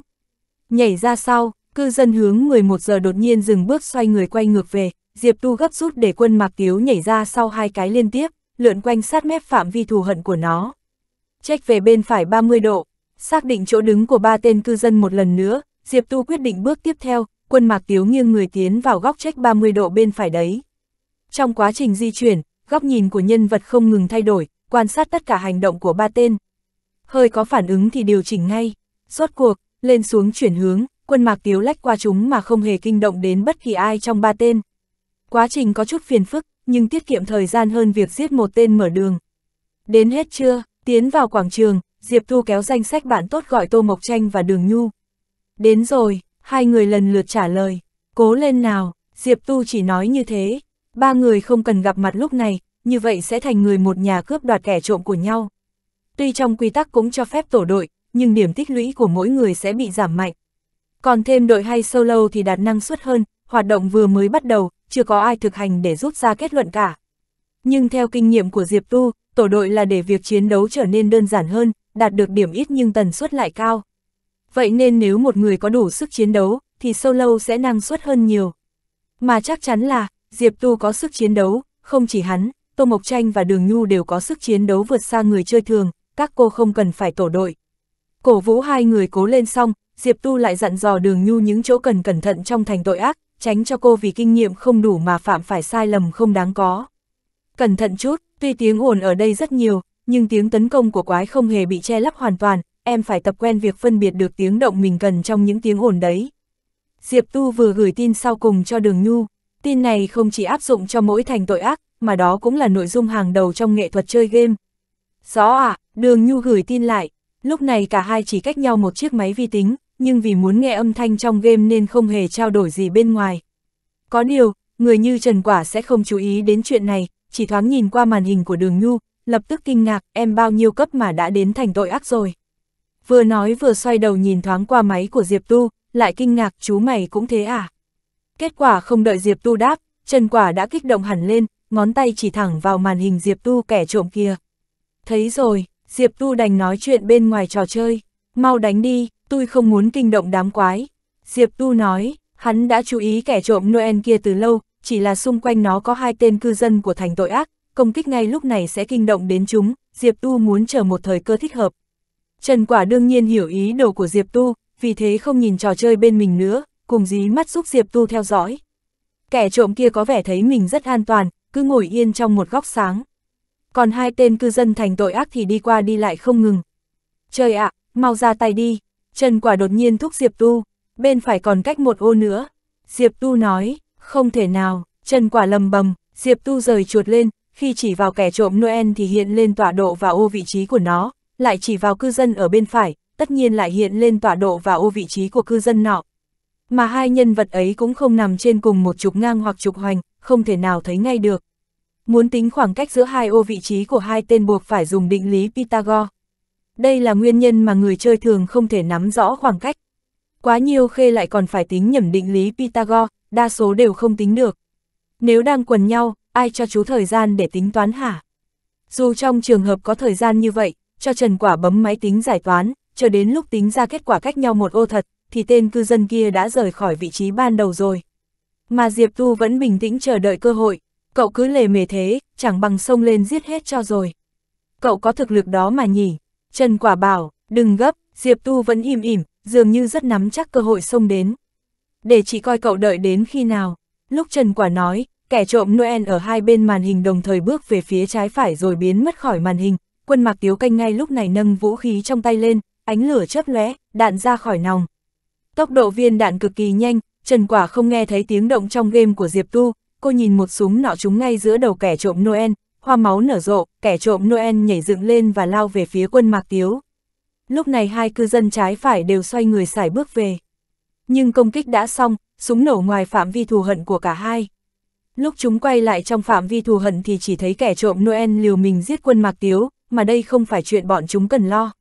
Cơ hội tích tắc mà cậu ta vẫn nắm được, e rằng cả khoảng cách và tốc độ bay của đạn cũng tính sẵn luôn rồi. Mình có thể làm được không? Tuy sớm biết Diệp Tu không phải cao thủ bình thường, nhưng nhìn thấy một màn như thế, ai cũng sẽ đặt mình vào hoàn cảnh ấy để so sánh thử. Trần Quả làm thế, kết quả bị đả kích gấp bội. Còn Diệp Tu đã đánh chết kẻ trộm kia ra sao, cô cũng không xem nữa. Bởi vì nhìn trực tiếp cảnh chiến đầu từ màn hình Diệp Tu, Trần Quả không thấy gì cả, chuyện này cô biết từ lâu rồi. chương 266, thoát ly tầm nhìn, tiêu trừ thù hận. Trần Quả không nhìn bên Diệp Tu nữa, sẵn tiện quay đầu ngó sang đường nhu. Kết quả liếc một cái liền trợn mắt há mồm, kìm không được lại quay sang nhìn Diệp Tu. Tình hình của cả hai thật sự quá tương phản. Bên Diệp Tu, hắn tính toán tỉ mỉ, ngay cả một cư dân của thành tội ác cũng không chọc đến. Nhưng bên đường Nhu thì lại quá náo nhiệt. Hàn Yên Nhu của cô đang cắm đầu chạy, mấy lần thoáng xoay góc nhìn ngó sau lưng, Trần Quả nhìn thấy một đoàn ít nhất mười mấy cư dân đang đuổi giết đường Nhu. Cô nhóc chọc phải phiền phức không phải lớn bình thường đâu. Hơn nữa, xem ra Hàn Yên Nhu còn định làm lớn thêm. Cứ cắm cổ chạy bừa, cô bất cẩn đạp trúng phạm vi thù hận của một cư dân đứng khuất trong làn mưa bụi, lập tức lại có thêm cái đuôi mới. Thật ra đường Nhu không phải không biết sợ mà dũng cảm gây nhiều phiền phức đến vậy, cô chỉ không ngờ là phạm vi thù hận của cư dân thành tội ác quá lớn, tính hiếu chiến cao. Nếu đến trên level thì chẳng sao cả, có khi còn rất tiện lợi. Nhưng bây giờ không phải đi cày mà là đi săn kẻ trộm Noel, nếu không muốn chọc đến con quái nào giống Diệp Tu, buộc phải có kinh nghiệm và ý thức, kỹ thuật tốt chỉ xếp thứ yếu mà thôi. Tuy nhiên, trình độ của đường Nhu không thể bằng Diệp Tu, nên cô vừa đến thành tội ác một lúc đã quấy dày rất nhiều cư dân. Lúc đầu đường Nhu còn kiên nhẫn đánh quái nhưng sau khi giết xong thấy nhận được quá ít kinh nghiệm, hoàn toàn lãng phí thời gian, cô cũng không muốn tiếp tục nữa. Nhưng là, đứng trước mặt nhiều cư dân hiếu chiến của thành tội ác, không muốn đánh thì ngừng, ở đâu ra chuyện dễ dàng như vậy. Trần Quả nhìn bên đường Nhu chỉ thấy tình thế quá nguy hiểm, hận bản thân không thể chạy tới giúp đỡ, đành vội vàng quay sang kéo Diệp Tu. Ai ra ai ra, đừng kéo đừng kéo chứ. Diệp Tu đang chăm chỉ đập kẻ trộm Noel thì đột một bị túm lên, sơ suất để kẻ trộm nọ có cơ hội chém ngược mình một đao, sắn tiện thoát khỏi thế công liên tiếp của Diệp Tu. Kẻ trộm Noel này thực sự là một tên trộm, nghề đúng là đạo tặc. Lúc bị phát hiện nó cũng không bỏ chạy, nhưng vừa tiến lên đã bị quân mạc tiếu tóm gọn, công kích dồn dập khiến nó không thể đánh trả, giờ có được cơ hội liền vội vàng xoay người co giò chạy tứ tung. Ấy, Trần Quả vừa nhìn cũng biết là mình làm hỏng việc, đây là đấu pháp hay dùng của người chơi đạo tặc, chạy tứ phía, bày bố bẫy dập, hạn chế hành động đối phương. Kẻ trộm Noel mà Vinh Quang thiết kế trong hoạt động lần này khác xa trước kia, chúng được lập trình cả những thủ đoạn mà game thủ chuyên nghiệp kỳ cựu hay dùng. Tiểu quái lúc này trông rất sống động, cứ như có người thật điều khiển đằng sau. Những game thủ đạo tặc chơi bẫy dập cũng không phải bất bại, song họ lại rất phiền. Chỉ cần sơ hở dẫm phải bẫy liền bị dính độc hay bị kẹp một hồi, cảm giác vô cùng buồn bực, nhiều người bị đạo tặc đánh bại chưa chắc do kỹ thuật thua kém mà chủ yếu thua ở tâm lý. Dạng đấu pháp này làm ta mất bình tĩnh, trở nên hấp tấp dẫn đến thao tác sai liên tục, cuối cùng bị đánh bại. Một người bị Diệp Tu trêu hai ba câu đã điên tiết lên như Trần Quả hiển nhiên rất sợ lối chơi này, cũng từng thua dưới tay những đạo tặc ấy không biết bao nhiêu lần. Nên vừa thấy tình hình giống thế cô đã lo lắng thay người ta, đồng thời cũng cảm thấy có lỗi vì sự nóng nảy sốt ruột của mình ảnh hưởng đến Diệp Tu. Nhưng Trần Quả lo xa rồi, Diệp Tu là ai mà có thể bị chút phiền phức nhỏ đó quấy dày chứ? Chỉ ngay sau đó, kẻ trộm Noel quay lưng chạy, không quên đặt một cái bẫy, bước sang ngang một bước. Nó đang chuẩn bị đặt cái bẫy thứ hai thì ba viên đạn pháo đã liên tiếp bay tới, kéo ra một góc lớn chảy ngang bề mặt, kẻ trộm không còn chỗ ẩn nấp cứ thế bị pháo nổ thẳng vào người, làm sao có thể đặt thêm một cái bẫy nữa. Quân Mạc Tiếu đã nhanh chóng đuổi tới, ô thiên cơ trong tay đổi thành chiến mâu, chiêu thiên kích hất bay nó thêm lần nữa. Chiến cuộc nháy mắt trở lại như cũ, kẻ trộm Noel bị Diệp Tu liên tục hành hạ không thể phản kháng. Sau 2-3 giây cục diện hỗn loạn đều được xử lý tốt, Diệp Tu vừa thao tác vừa quay qua hỏi, chuyện gì? a à, Trần Quả mãi lo lắng mà quên luôn đường Nhu, khi quay đầu nhìn thấy tình hình của đường Nhu ngày càng khó khăn, vội nói tiểu đường bị một đàn quái đuổi theo. Diệp Tu nghe xong cũng nghiêng đầu nhìn sang phía đường Nhu, tôi nói cho em ấy phương pháp dứt thù hận nhanh chóng là thoát ly tầm nhìn của quái rồi. Diệp Tu không hề trông đợi gì vào việc đường Nhu chẳng đụng đến bất kỳ em nào như mình, nên hắn cũng đã sớm nhắc cô phải làm sao để thoát khỏi thù hận của đám quái đó. Thoát ly tầm nhìn, phương pháp dứt thù hận này vô cùng thông dụng, chẳng qua, muốn thoát ly tầm nhìn của quái ở nơi bằng phẳng thì khoảng cách phải xa đến mức xóa sạch thù hận, vì vậy phương pháp đó chỉ dùng nhiều ở địa hình phố xá, hoặc mấy chỗ như khe núi nhất tuyến mà thôi. Nói tóm lại chỉ cần biến hướng và luồn lách tường vách nhiều một chút. Tuy không thể ngay lập tức dứt hết thù hận nhưng sẽ giảm đi một lượng lớn, cứ chuyển hướng vài lần thì chẳng mấy chốc thù hận sẽ về không, mà lúc này trong tầm mắt đám quái không còn mục tiêu nào, đương nhiên thù hận không thể tăng thêm, chúng sẽ không đuổi theo nữa. Với những con quái hiếu chiến ở bản đồ thành tội ác, muốn rời khỏi trạng thái chiến đấu chỉ có thể sử dụng biện pháp như vậy. Nếu một mực đua marathon như thế thì đám quái cũng sẽ kiên trì bám đuôi rất lâu, đấy là đặc điểm của tính hiếu chiến. Em ấy đã làm vậy, nhưng mà, nhưng cái gì, nhưng thù hận của đám cư dân cũ vừa vất vả tiêu trừ, đường nhu lại đụng phải đám mới rồi sinh thêm thù hận mới. Cô bị cuốn vào vòng tuần hoàn như vậy, thấy kẻ trộm Noel không dỗi tay xử, lại còn kéo theo một đoàn cư dân dài tít tắp, giờ muốn chở mình cũng không kịp. Tọa độ của em ấy là bao nhiêu? Diệp Tu hỏi Trần Quả, ngồi cách nhau một cái máy mấy con số bé tí như vậy hắn đương nhiên không thể nào nhìn rõ được. Trần Quả vội ngó đầu sang xem, đường Nhu đang khẩn trương và tập trung, nào biết hai người bên cạnh đang lo lắng cho mình, đầu không hề xê dịch. Trần Quả nhìn tọa độ, đang định quay sang nói cho Diệp Tu thì chợt thấy một bóng người lướt qua góc màn hình. Mắt đường Nhu cũng thật tinh, góc nhìn lập tức quay sang nhắm thẳng thân người nọ. Bóng người đến từ mái nhà bên đường, đường Nhu vừa nhìn trang phục đã nhận ra, là nghề bậc thầy pháo súng mà cô quen thuộc nhất. Hơn nữa còn là một nữ bậc thầy pháo súng, lại càng thêm quen thuộc mấy phần. Giới tính nam nữ không hề ảnh hưởng gì đến thuộc tính nhân vật và trang bị, nhưng tạo hình lại khác xa nhau. Mái tóc dài xóa vai của cô nàng tung bay tán loạn giữa trời mưa bụi, pháo hạng nặng trong tay vác lên, ánh sáng rực rỡ ngưng tụ nơi đầu súng, tức thì một tiếng nổ vang, một luồng laser đằng đằng sát khí bắn vọt ra. Nữ bậc thầy pháo súng đứng trên nóc nhà nhún chân nhảy ra sau một bước, nhẹ nhàng hóa giải sức giật khi tụ lực pháo laser. Trần Quả chỉ nghe thấy tiếng trò chơi của mình, không thể nghe được âm thanh trên máy đường nhu. Nhưng đường nhu vẫn chăm chú vào góc nhìn bên mình, góc nhìn của cô chuyển theo luồng pháo sáng ấy, luồng laser đập thẳng vào mười mấy cư dân sau lưng cô. Thù hận sinh ra vì bị công kích này đương nhiên lớn hơn thù hận mà đường nhu gây ra, nói cách khác, nữ bậc thầy pháo súng này sau một chiêu pháo laser đã hút sạch thù hận về mình. Chúng cư dân nghiến răng nghiến lợi lao về hướng mái nhà nơi cô nàng đang đứng, chỉ còn lại ba bốn con không bị nổ chúng vẫn kiên trì chạy theo Hàn Yên Nhu. a Trần Quả nghe thấy đường Nhu đột ngột đáp lại một tiếng, đoán chắc là nói với người trong game mà lúc này dĩ nhiên là nữ bậc thầy pháo súng kia. Lại có thêm mấy phát đạn pháo liên tiếp bay đến, ba bốn cư dân còn lại cũng bị cô dẫn đi, hơn 10 con tất cả đều quên mất Hàn Yên Nhu, cùng nhau bỏ lên tường đuổi giết nữ bậc thầy pháo súng. Nhưng bóng dáng người nữ bậc thầy pháo súng kia nhanh chóng biến mất, hiển nhiên là nhảy xuống con phố bên kia. Đó là một lần rời khỏi tầm nhìn rất hiệu quả, nhưng đám cư dân này ăn đứt thêm thủ ở chỗ tài trèo tường của chúng khá nhanh nhẹn, một đám lóc nhóc đứa bỏ kẻ nhảy nhanh chóng leo qua con đường bên cạnh. Nhưng chỉ chốc lát, cô nàng bậc thầy pháo súng kia lại nhảy lên nóc nhà rồi nhảy xuống con phố bên cạnh. Qua mấy thao tác đơn giản, thù hận đã bị cô nhẹ nhàng diệt sạch, mười mấy cư dân không còn hứng thú với mục tiêu đã thoát khỏi tầm mắt của mình, dừng chân ở đường bên kia. Biện pháp thoát ly tầm nhìn tiêu trừ thù hận rất đơn giản lại vô cùng hiệu quả, nhưng tiếc là đường nhu không làm được. Những nghề thuộc hệ pháp sư, sức bật trời sinh yếu nhất bọn, không thể nhảy lên mái nhà cao như vậy.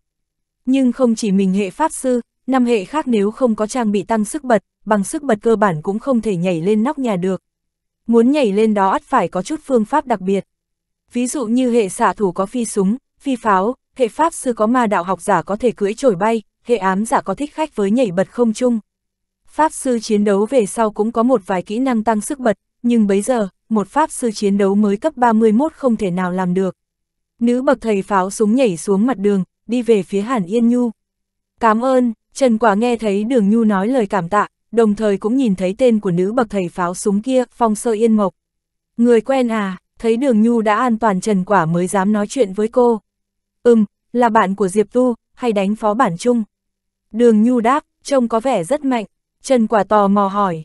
Đúng vậy, đường Nhu gật đầu, có mạnh bằng chị không? Trần Quả cười hỏi, cái này, ờm, ờ. Đường Nhu ậm ờ, cái gì cơ? Bà chị hỏi người ta có mạnh bằng mình không? Đường Nhu nói ờm ờm, tức là người ta mạnh hơn bà chị nhiều đó. Diệp Tu rất nhàn nhã mà phiên dịch dùm cô. chương 267, bảng thợ săn Noel. Hừ, Trần Quả không tranh cường háo thắng như đường Nhu, chỉ vì thấy người ta cùng nghề với mình, còn là người chơi nữ. Hơn nữa tư thế ra trận vừa nãy quá oai hùng hiên ngang khiến cô nàng có chút hâm mộ. Ai ngờ mới hỏi đùa một câu, Diệp Tu đã chắc cú mình yếu hơn, làm cô cảm thấy không cam lòng. Cô cũng có thể làm được những gì mà bậc thầy pháo súng kia làm, sao mới nhìn là biết mạnh hơn chứ? Để mình thử lại nhé. Trần Quả nghe thấy Đường Nhu nói chuyện, dĩ nhiên là đang nói với người trong game. Trong trò chơi, cục diện của Đường Nhu được người đúng lúc đi ngang qua Tô Mộc Tranh đuổi theo giải quyết thay. Nhưng nếu tiếp tục, cô nàng khó tránh khỏi việc rơi vào cục diện tương tự. vì thế Tô Mộc Tranh đề nghị hai người tổ đội với nhau. Nhưng Đường Nhu cũng không phải loại người dễ chịu thua, trước là do chuẩn bị không đủ, càng dẫn càng nhiều, dẫn đến chuyện không kịp trở mình. Nhưng bây giờ bắt đầu lại, Đường Nhu cảm thấy nếu mình chú ý hơn, có lẽ cục diện cũng chẳng tệ như thế, nên cô bảo mình muốn thử với Tô Mộc Tranh. Ồ, được chứ, Tô Mộc Tranh vừa nói, vừa gửi một icon mỉm cười, cũng không miễn cưỡng nữa. Hai người không tổ đội, một người đi phố Đông, một người đi phố Tây, hai hướng trái ngược nhau. Đường Nhu để Hàn Yên Nhu chạy vài bước rồi dừng lại, thò đầu nhìn màn hình của Diệp Tu, hiển nhiên muốn học lỏng. Bên Diệp Tu tiến triển vô cùng thuận lợi, thấy bên đường Nhu không cần mình nữa, hắn tiếp tục đi lung tung, không làm phiền đám cư dân như cũ, sau đó nhanh chóng tìm được kẻ trộm Noel. Nhưng khóe mắt đã ngó về phía đường Nhu từ lâu, vừa giết kẻ trộm Noel, vừa nói, đừng nhìn nữa, có nhìn em cũng chẳng học được ngay đâu. Vì sao, đường Nhu đang xem xét cách tránh quái suốt đường đi của Diệp Tu vừa nãy, kết quả nghe thấy Diệp Tu nói với mình. Cao thủ, chị giải thích cho em ấy đi. Diệp Tu nói với Trần Quả. Chấm, Trần Quả câm nín luôn. Được người khác kêu là cao thủ hẳn phải cao hứng mới đúng, có điều bị một người mạnh hơn mình rất nhiều gọi là cao thủ, cảm giác này còn tệ hơn chuyện bị người ta gọi là ma mới tối qua. Trần Quả trừng mắt nhìn Diệp Tu, xong vẫn giải thích cho Đường Nhu. Nói cho cô nàng biết trò mà Diệp Tu dùng thật ra không cần kỹ xảo, đó là kinh nghiệm được tích góp nhiều năm khi nghiên cứu vinh quang, là sức phán đoán và trực giác mất rất nhiều thời gian mới đánh đổi được. Chỉ những người chơi kỳ cựu mới có, bất kỳ người chơi mới nào, dù thao tác và kỹ thuật có xuất sắc mấy cũng không thể làm được điều này. Bởi vì kỹ xảo không hề liên quan gì, mà đấy là sự lắng động qua năm tháng. Đường Nhu nghe xong cũng chỉ yên lặng gật đầu, những thứ này quả thực không thể bắt trước được, liếc mắt đã biết được khoảng cách giữa hai mục tiêu là bao nhiêu. Đường Nhu nhìn trăm lần cũng bó tay, không thể dùng phương thức như Diệp Tu, Đường Nhu chỉ đành dùng một vài biện pháp sơ cấp khác. Thấy chỗ núp được thì núp vào, chỗ nào khó không nắm chắc thì thay đổi đường đi, không lựa chọn mạo hiểm. Dù sao cô cũng đi lung tung mà thôi, có đôi khi gặp phải tình huống không thể lách qua, lại không còn đường chọn, cô chỉ đành sông pha. Đường Nhu dựa vào năng lực của mình, cuối cùng có thể tự mình càn quét ở thành tội ác. Cô cũng tìm được hai kẻ trộm Noel, đều thuận lợi giết chết. Đối với cô, chiến đấu còn đơn giản hơn là tìm đường trong thành. Vì thế lúc này Trần Quả Thành người buồn bực nhất, cô vừa online đã đụng phải một kẻ trộm, nhưng sau đó, một tên cũng chẳng thấy. Khó khăn lắm mới gặp được một em lại bị người khác đoạt mất. Mắt thấy đường nhu bên trái Diệp Tu bên phải lâu lâu lại đánh chết một em, Trần Quả hâm mộ đến cào phím. Khu mới tốt thế đấy, còn rất nhiều kẻ trộm không ai bắt. Mà trục yên hà của Trần Quả ở thần chi lĩnh vực thì sao? Trần Quả đến những nơi ngày thường hiếm người để ý, bây giờ lại kín người hết chỗ. Sự nhiệt tình của người chơi thật quá đáng sợ, thần chi lĩnh vực như thế, chín khu cũng chắc chắn cũng chẳng khác gì. Hơn nữa thần chi lĩnh vực có hẳn một bảng thành tích riêng, điểm tích lũy của người chơi khu cũ sẽ không được rời sang thần chi lĩnh vực và ngược lại. Người chơi bắt đầu ở đâu thì cứ tiếp tục ở đấy. Bởi vì nhà phát hành đã nêu rõ, nếu cả hai bên đều có điểm tích lũy, đến lĩnh thưởng ở bên cao hơn, bên còn lại sẽ không được nhận thưởng. Trần Quả Quả quyết muốn chơi ở thần chi lĩnh vực, cô không ham muốn có tên trên bảng, chỉ mong mình có thể giết nhiều kẻ trộm, để có thể nhận được nhiều quà hơn. Kết quả hoạt động trôi qua một tiếng, Trần Quả tội nghiệp chỉ giết được ba tên. Tuy là ba tên, nhưng thu hoạch không nhỏ. Người chơi mắc cấp giết hết kẻ trộm đi tìm ông già Noel đổi quà, mở ra kinh nghiệm sẽ tự động đổi thành tiền, hơn nữa thưởng thêm vài món ngẫu nhiên khác. Một tiếng bắt kẻ trộm luôn thu được lợi nhuận cao hơn bất kỳ hoạt động bình thường nào, đấy cũng là nguyên nhân vì sao đám người chơi đổ xô nhau vào. Có điều, thứ gây kích thích người chơi hơn cả, có lẽ là thông báo của hệ thống. Thông báo của hệ thống thỉnh thoảng lại hiện lên tin người chơi nào nhận được phần quà gì. Được lên TV thì thứ nhận được chắc chắn không hề đơn giản, trang bị đều phải từ đồ tím trở lên, vật liệu phải thuộc dạng hiếm có, hoặc là bản đồ phó bản ẩn, hoặc quyển trục triệu hồi boss, quyển trục thêm thuộc tính của trang bị, quyển trục kỹ năng phụ, thậm chí cả sách kỹ năng. Những món khen thưởng trên, món sau ngon hơn món trước làm người ta thèm chảy cả nước rãi tất cả đều phụ thuộc món quà random đổi được từ ông già Noel sau khi bắt trộm xong. Mặc kệ tỷ lệ may mắn nhận được chúng là bao nhiêu, người chơi cũng nguyện ý đâm đầu vào. Hớn hở hay thút thít, khoe số đỏ hay mắng chửi trên kênh thế giới, người chơi có thể làm ra bất kỳ hành động dở hơi nào, nhưng không có ai từ bỏ hoạt động này. Ba kẻ trộm Noel, từ chuyện trên kênh thế giới có nhiều người khóc kể một tiếng chưa giết được em nào, Trần Quả thu hoạch được vậy đã là ổn lắm rồi, một tiếng này ít ra không sống uổng. Nhưng đáng sợ nhất chính là lấy nó ra so sánh. So với mấy đứa đang gào khóc, Trần Quả cực kỳ hạnh phúc, nhưng so với hai đứa bên cạnh, Trần Quả cào bàn phím đủ, đang định chuyển sang cào người. Đường Nhu bên trái, một tiếng giết chín kẻ trộm Noel. Diệp Tu bên phải còn ghê hơn, lúc này đã giết chết 14 tên rồi. Trần Quả có thể nào không rơi lệ đầy mặt chứ? Cô còn không bằng số lẻ của Diệp Tu. Bên cô, mỗi khi giết được một tên, cô sẽ kích động đi tìm ông già Noel đổi quà, trông mong mở thưởng. Còn người ta, trong túi đã đầy quà mất trộm, nhưng hình như người ta chất hết túi mới chịu đi tìm ông già Noel đổi quà. Trần Quả buồn bực, chất hết túi ấy hả? Theo cô, đó là điều hư cấu đến nhường nào. Diệp Tu và Đường Nhu chuyên tâm đi săn kẻ trộm Noel, bất chấp tâm trạng của đứa bị kẹp giữa một tiếng mà mới chỉ giết được ba tên như Trần Quả là gì. Ngoài chú ý tìm kẻ trộm, họ còn chú ý vào bảng thành tích. Bảng thợ săn Noel, từng nhóm cấp bậc đều có 50 trang, mỗi trang 20 vị trí, nói cách khác, chỉ 1.000 người chơi mới có cơ hội leo lên bảng. Mà quân mạc tiếu của Diệp Tu đã leo bảng chỉ trong một tiếng, hơn nữa còn xếp rất cao, leo đến vị trí 261 rồi. Đường Nhu dù có tên trên bảng, nhưng khoảng cách quá xa so với quân mạc tiếu, cô đang ở vị trí 784. Ở giữa hai người có thể nhìn thấy phong sơ yên mộc của Tô Mộc Tranh, xếp thứ 319, xa hẳn Yên Nhu và khá gần quân Mạc Tiếu. Điểm khác biệt lớn là, thứ hạng của quân Mạc Tiếu và phong sơ yên mộc đang vững bước tiến lên, còn Hàn Yên Nhu leo đến khoảng 800 thì dần lên xuống không ổn định, hiển nhiên trình độ của người chơi cỡ này có năng suất tương đương cô nàng, cạnh tranh kịch liệt vô cùng. Mà trình độ của Diệp Tu và Tô Mộc Tranh lại cao hơn rất nhiều. Ở nơi ít người cạnh tranh như thành tội ác, tay nghề thành thạo bắt đầu phát huy tác dụng quan trọng. Bảng thành tích chỉ rõ sự tranh lệch, nhưng với đường nhu, nó chỉ châm ngòi ý chí chiến thắng trong cô mà thôi. Từ khi tên xuất hiện trên bảng, cô bé tựa như kiếm được mục tiêu, cố gắng liều mình hơn nữa. Sau khi hỏa tốc lùi lên 800 thì dần nhấp nhô không tiến, cô càng hăng hái và mạnh mẽ chạy điên cuồng trong thành tội ác. Mà đường nhu cũng không dễ dàng gì, trong một tiếng này, cô giết 9 kẻ trộm Noel, đồng thời cũng giết luôn 18 cư dân trong thành, quá trình chiến đấu tiêu hao không ít thời gian của cô.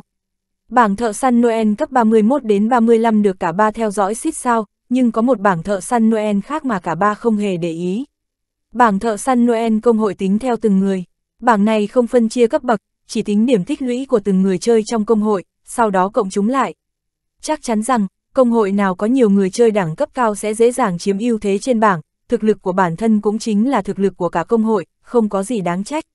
Giờ khắc này, trên bảng thợ săn Noel công hội tại khu 10, kẻ đứng đầu không phải một trong ba công hội trung thảo đường, làm khê các hay mưu đổ bá đạo. Là Gia Vương Triều, Gia Vương Triều trở thành một trong những công hội đứng đầu hoạt động bảng thợ săn, hơn nữa còn xếp thứ nhất. Xếp thứ hai là Trung Thảo Đường, điểm tích lũy kém xa Gia Vương Triều, sau đó là Lam Khê Các và Mưu Đổ Bá Đạo, cả hai tranh lệch không lớn với Trung Thảo Đường. Trên thực tế, thứ hạng của cả ba công hội đã trải qua một cuộc chiến lâu dài. Mấy phút trước, hạng 2 vẫn là Lam Khê Các, mà Trung Thảo Đường bất thình lình nhảy lên, nhưng ai biết được lại có nhà nào bất thình lình nhảy lên nữa không? Các công hội lớn cạnh tranh thất bại ở phó bản, lại nhìn thấy cơ hội chứng tỏ bản thân trong hoạt động Giáng sinh này. Chẳng qua, chuyện cạnh tranh hiện không còn liên quan đến bọn Diệp Tu nữa. Diệp Tu chỉ nhìn sơ qua bảng, rồi không để ý đến nó nữa. chương 268, gã cướp quái nham hiểm. Người chơi cắm đầu cắm cổ cầy nhiệm vụ, hầu như ai cũng quan tâm đến bảng thành tích, chẳng qua trong mắt là ba phần hâm mộ, ba phần ghen tị, và ba phần cay đắng. Trên bảng thành tích, kỳ thật người chơi không để ý lắm đến ăn ở hay kỹ thuật, cả bọn chỉ biết những đứa có tên trên bảng sẽ nhận được quà Noel hậu hĩnh hơn mình. Đó mới là điều mọi người để bụng nhất, mà sau đó, những kẻ dẫn đầu vốn là những tay mạnh về thực lực hay vận hạt, nhận được quà càng ngon, thực lực lại càng tăng mạnh, vận may càng tấn tới, nghĩ thôi đã thấy đáng lòng. Người chơi tính toán thứ tự của mình trên bảng, càng thêm cố gắng duy trì vị trí. Trong quá trình đó, thực lực cũng dần trở thành tấm vé đảm bảo. Bởi những kẻ bằng may mắn cướp được nhiều trộm Noel hơn, trung quy cũng không thể giữ mãi sự may mắn đó. Với hoạt động có thời gian dài thế này, chỉ có đẳng cấp mới là mãi mãi. Có thể giết kẻ trộm Noel ở thành tội ác, chắc chắn phải cần thực lực, còn phải là rất mạnh ở khu mới. Bằng sự nỗ lực của mình, vị trí trên bảng của đường Nhu bắt đầu có những bước tiến không ngừng. Số ít người chơi dựa vào ăn ở liên tục tìm được kẻ trộm, thì khi vận may không mỉm cười với mình nữa, thứ hạng sẽ dần tụt dốc, bị người chơi bằng vào thực lực chăm chỉ giết quái ở thành tội ác lấy thu hoạch ổn định như đường nhu vượt mặt. 774, 767, 761, 749, thứ hạng dựa vào điểm tích lũy, mà điểm thì không chỉ có một, đường nhu giết kẻ trộm tranh nhau đến mấy cấp, điểm nhận được cũng khác, mỗi khi thịt xong một em, thứ tự trên bảng nhích lên đến mấy hạng, có khi leo hơn 10 hạng. thứ hạng nhích lên đều đều càng khiến cô nàng hừng hực ý chí chiến đấu, tay trái lướt phím, tay phải di chuột, hai mắt dán chặt màn hình, không rời một giây. Thì thoảng Trần Quả có bắt chuyện với cô, mà cô nàng cứ như điếc đặc. Tất cả thế giới của đường nhu chỉ còn mỗi bảng thành tích trong trò chơi. Loại bảng thành tích này mang theo sức quyến rũ lạ kỳ. Lại một em nữa, đường nhu càng lúc càng quen thuộc với thời tiết mưa phùn ở thành tội ác, cũng càng thích ứng với việc phán đoán vị trí mục tiêu trong tầm nhìn mù mịt. Có bóng người lẩn khuất xa xa trong làn mưa bay, đường nhu liếc cái đã nhận ra là một em trộm Noel, lập tức chỉ huy Hàn Yên Nhu vọt đến. Đồng thời, một chỗ khác trên đường cũng xuất hiện một bóng người đang lao đến chỗ kẻ trộm. Khi chạy, thanh kiếm quang rắt bên người lập lè sáng, trong làn mưa bụi rất dễ bị nhận ra. Đường Nhu liếc cái đã thấy, sao không biết ý đồ gã ta. Lân la trong thành tội ác đã lâu, gặp được vài người chơi khác, chẳng qua cả hai cùng nhắm đến một mục tiêu thì đây là lần đầu tiên. Đương nhiên cô nàng nào chịu nhường, lựa chọn đường đi ngắn nhất thẳng đến chỗ kẻ trộm. Ban đầu đường Nhu định tránh một cư dân của thành tội ác, nhưng giờ cũng chấp tuốt. Cư dân thành tội ác cũng rất hiếu khách với cô, khi Hàn Yên Nhu vừa lướt qua người mình, nó đã lập tức giơ đao nhào đến đón tiếp. Gã người chơi kiếm khách phía kia cũng nhìn chòng chọc về phía cô nàng pháp sư chiến đấu bên này.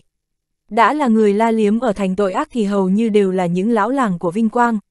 Kinh nghiệm hơn hẳn đường Nhu, dựa theo khoảng cách từ hai người đến chỗ kẻ trộm, kiếm khách biết mình đến sớm hơn. Cho rằng phần thắng đã thuộc về mình, lại thấy pháp sư chiến đấu kia bị quái luyện cấp quấn lấy thì càng mừng, cho là em quái Noel này không thoát khỏi tay mình chắc rồi. Cư dân sấn sổ đến, đường nhu bình chân như vậy, cổ tay phải vung lên, Hàn Yên Nhu vung thiên kích xiên lên. Cư dân đến gần dính đòn, bị hất lên không trung, Hàn Yên Nhu dịch ngang một bước, bùm một tiếng, một chiêu lạc hoa trưởng bay ra, lòng bàn tay đẩy ra một luồng khí, mưa cũng bị hất bay, tạo thành một làn sóng nước, trông bá cực. Bỏ mị kiếm khách nhìn theo hướng trưởng đẩy đến thì cuống lên. Không ngờ cô nàng Pháp sư chiến đấu này vì một con quái đang lao thẳng ra mà chuyển họa thành phúc, nếu dựa theo cuộc thi chạy ban đầu giữa hai người, Pháp sư chiến đấu sẽ chậm hơn, nhưng giờ, một chiêu lạc hoa trưởng tung ra, cư dân bay thẳng ra ngoài, y như gã đoán, chuẩn không cần chỉnh đụng chúng vào kẻ trộm Noel. Công kích như vậy đương nhiên được tính, tên trộm nhanh chóng nhận ra, hùng hổ xông về phía Hàn Yên Nhu, kiếm khách đần ra như phóng, chỉ biết tặc lưỡi chửi thề đệch. Khoảng cách hai người đã xích lại gần hơn, đường Nhu cũng nghe thấy, nhưng không bận tâm lắm. Trong game không thiếu những trợ từ thô tục để giải tỏa cảm xúc. Thắng người ta, lại không cho người ta bực bội là không nên. Đường Nhu không để tâm đến gã nữa, thao túng Hàn Yên Nhu tiến lên, kẻ trộm Noel và cư dân cũng lao thẳng về phía cô. Lấy một trọi hai, đường Nhu không hề nao núng. Trong thành tội ác một thời gian, kẻ trộm và cư dân bị cô nàng thịt đâu ít, mạnh yếu thế nào đã rõ, đường Nhu không thấy khó khăn gì, thế mới đánh bạo chấp luôn tên cư dân, còn lấy nó để xí trước kẻ trộm. Người chơi kiếm khách đang định bỏ đi, nhưng hiện tại hai người chỉ cách nhau mấy bước, ID bị mưa che đi ban nãy giờ đã hiện rõ. Hàn Yên Nhu, vừa thấy ID, kiếm khách vốn đã định bỏ đi lại đột nhiên dừng lại. Vác kiếm đứng bên, người chơi kiếm khách lẳng lặng quan sát Hàn Yên Nhu đánh quái. Cấp 31, kiếm khách tra ID, xác nhận level của Hàn Nhu Yên. Cấp này tranh nhau đến hơn 6 cấp với quái thành tội ác, lại một trọi hai, vậy mà vẫn thấy dư giả. Kiếm khách không thể không thừa nhận thực lực của Hàn Yên Nhu, không hổ là thành viên trong team phá bản của quân Mạc Tiếu. Không có tí thực lực, sao có thể lấy được kỷ lục bá đạo ấy. Kiếm khách âm thầm suy tính một lúc, sau đó lặng lẽ xoay người bỏ đi. Ban đầu đường nhu thấy gã chằm chằm nhìn mình đánh quái cũng bắt đầu đề phòng. Giết người cướp quái là chuyện thường ở huyện, gà cũng đoán được. Chẳng qua thấy gã đứng được ra một lúc rồi đi, đường nhu yên tâm. Nghĩ lại, có lẽ gã ta muốn xem cô có đối phó được với kẻ trộm Noel và quái luyện cấp hay không. Nếu cô bị hai con quái quây chết, gã sẽ trả khách sáo mà đến ăn hôi ngay. Nhưng sau khi biết việc không thành, tự nhiên cũng cắp đít bỏ đi. Suy nghĩ kiểu này không được cao thượng cho lắm, nhưng ít ra còn tốt chán so với giết người cướp quái. Quả thật đường nhu thừa sức quất hai em một lúc, thậm chí còn rảnh rang nghĩ ngợi lung tung. Sốc lại tinh thần, đường nhu cẩn thận để ý xung quanh, cô không muốn mình bất cần kéo thêm em quái cư dân nào đến nữa. Nhìn quanh quần một lúc, phạm vi thù hận của cư dân gần nhất còn cách cô một đoạn xa, có đủ không gian để thoải mái chơi hai em, không phải xoắn. Nghĩ là làm, đường Nhu lập tức tập trung điều khiển Hàn Yên Nhu đánh quái, lại không biết sau lưng, gã kiếm khách lượn đi đâu đã quay lại, còn cắm đầu cắm cổ chạy. Đằng sau tha lôi theo cả mớ lổn nhổn đến hơn 10 tên cư dân thành tội ác. Trong mưa, tiếng bước chân được át đi khá nhiều, nhưng với tổ đội hơn 10 người, tiếng mưa không thể che đi tiếng bẹp bẹp đạp nước hàng loạt kia. Đường Nhu dần nghe thấy có tiếng động, phía trước không có gì lạ, thế là tranh thủ quay lại xem, vừa quay ra đã thấy một người kéo theo cả đoàn cư dân đến. Đường Nhu không nhịn được bật cười, ô hô, gặp tình huống y chang mình kìa, tuy thông cảm lắm, nhưng đường Nhu cũng bó tay. Nếu cô là bậc thầy pháo súng, có thể sẽ học theo Tô Mộc Tranh giúp đỡ, nhưng là một pháp sư chiến đấu, chính cô cũng sợ nhất tình huống này. Nhoáng cái đã thấy người đó chạy lại gần, đường Nhu lơ đáng liếc sang, thử cả người. Kiếm phong sở chỉ, ID này chẳng phải chính là kiếm khách vừa nãy hay sao? Lòng vòng một hồi rồi đột nhiên dẫn theo cả đống quái trở về. Bất thường quá thì phải, đường Nhu dù kinh nghiệm chơi game ít ỏi cũng nhận ra có chút không ổn. Ngay khi vừa cảnh giác, kiếm phong sở chỉ đã dứt khoát múa kiếm lao thẳng về phía Hàn Yên Nhu. Thanh kiếm quang vạch ra chiêu thức, giữa màn mưa bay sáng lập lòe. Một đường kiếm sáng bổ ra, kiếm phong mang theo hạt mưa, hoa lệ bay tới Hàn Yên Nhu. Đẹp, nhưng không dễ chịu, đường Nhu vội vàng cho Hàn Yên Nhu né sang một bên. Trộm Noel và cư dân vẫn ngứa đòn sấn sổ tới. Nhất thời, công kích từ ba phía ập đến, đường Nhu bình tĩnh đánh trả. Một đường kiếm khác lại bay tới. Sau chiêu rút đao chảm, kiếm phong sở chỉ đột ngột áp sát bằng chiêu tam đoạn chảm. Đường Nhu cười khẩy, nghiêng người né tránh, rồi thi triển thiên kích ngay tức thì. Kiếm phong sở chỉ vội vàng tránh né, nhưng vẫn chậm nửa nhịp, bị thiên kích hất lên, tuy lơ lửng không cao, nhưng vẫn bị lơ lửng trên trời. Đường Nhu không khách sáo bồi thêm lạc hoa trưởng theo sau. Chúng trưởng, kiếm phong sở chỉ không tránh được một kích ấy, ăn chọn một chiêu lạc hoa trưởng, cả người phi vèo ra ngoài, bất chợt đường Nhu kêu ối lên. Há há há, mỹ nữ thích chơi chiêu này thật nha. Tuy bị đánh bay, vậy mà trông kiếm phong sở chỉ chả có tí thất vọng nào, còn cười rất khoái chí. Cả người gã bay ra, đụng chúng vào đám cư dân thành tội ác lẽo đẽo theo sau. Đám cư dân đang chạy thành hàng, rõ ràng lúc nãy kiếm phong sở chỉ đã cất công lùa về. Giờ bị gã đụng chúng một loạt, còn triệt để hơn cả phát pháo laser của phong sơ yên ngục mà Tô Mộc Tranh dùng lúc trước, hơn 10 tên bị gã hất ngã nháo nhào. Mà thù hận, cũng được tính hết lên đầu Hàn Yên Nhu. Hoạt động đơn lẻ, gặp phải đối thủ nham hiểm, rốt cuộc đường Nhu phải trả giá đắt vì mớ kinh nghiệm ít ỏi của mình. chương 269, đều không hề đơn giản. Hơn 10 tên cư dân của thành tội ác từ dưới đất bò dậy, ánh mắt đồng loạt chuyển rời về phía Hàn Yên Nhu. Sau khi mỗi đứa giống lên một tiếng thì ùa hết cả lên. Lúc này, kiếm phong sở chỉ mới chậm rãi bò lên, trên đỉnh đầu phát ra một cái ai cần mặt cười âm hiểm. Là người bị hại, đường nhu cực kỳ khinh thường tên âm hiểm này, rốt cuộc lửa giận phừng phừng, hồi bị những công hội lớn đánh lén đến mất mạng, cô cũng chưa từng giận như thế. Không nói lời nào, đường nhu vậy mà điều khiển Hàn Yên Nhu đón đầu hơn 10 tên cư dân đang lao đến trước mặt. Đầu mâu bén nhọn của thanh xích nguyệt không ngờ lại chĩa về phía kiếm phong sở chỉ đang bình yên ở kia. Kiếm phong sở chỉ bị khí thế của đường nhu làm kinh sợ chút đỉnh, nhưng nhìn hơn 10 tên cư dân tàn bạo của thành tội ác như bức tường thành chặn trước người mình, tâm trạng gã lập tức bình tĩnh lại. Cô em này hiếu chiến hệt như cư dân thành tội ác vậy. Giờ có thể trốn được hay không đã khó nói, thế nhưng ẻm còn quyết tiến không lùi, trông ngốc quá đi. Kiếm phong sở chỉ không làm gì cả, dõi mắt nhìn Hàn Yên Nhu chạm mặt với đám cư dân. Gã không định rời đi, lòng gã còn đang tính cách tóm cổ tên trộm Noel sau lưng Hàn Yên Nhu.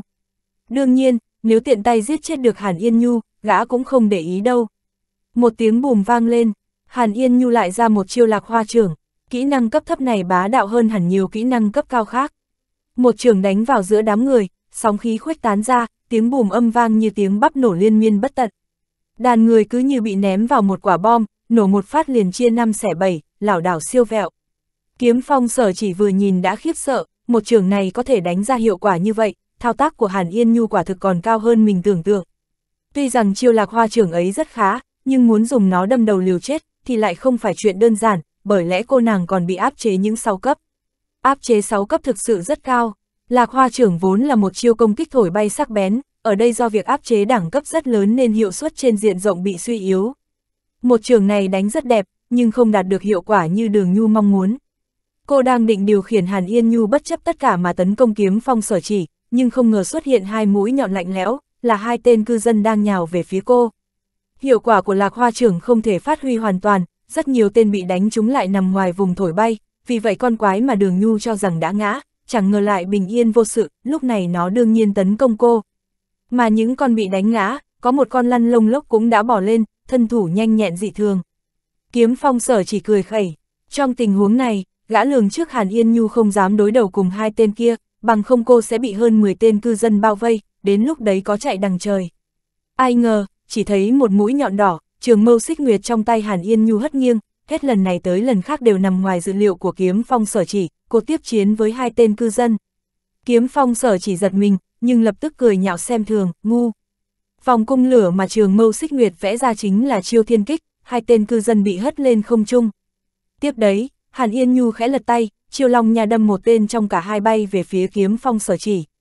Hàn Yên Nhu cũng từng bước vào tới trước, tay vùng thanh mâu, đâm thẳng vào người tên còn lại, xoay cổ tay hất ngược, một đường cung tròn 180 xẹt qua, tên cư dân bị ném ra sau, sóng xung kích khuếch trương khiến những tên cư dân đang vây xung quanh ngã lăn trên đất.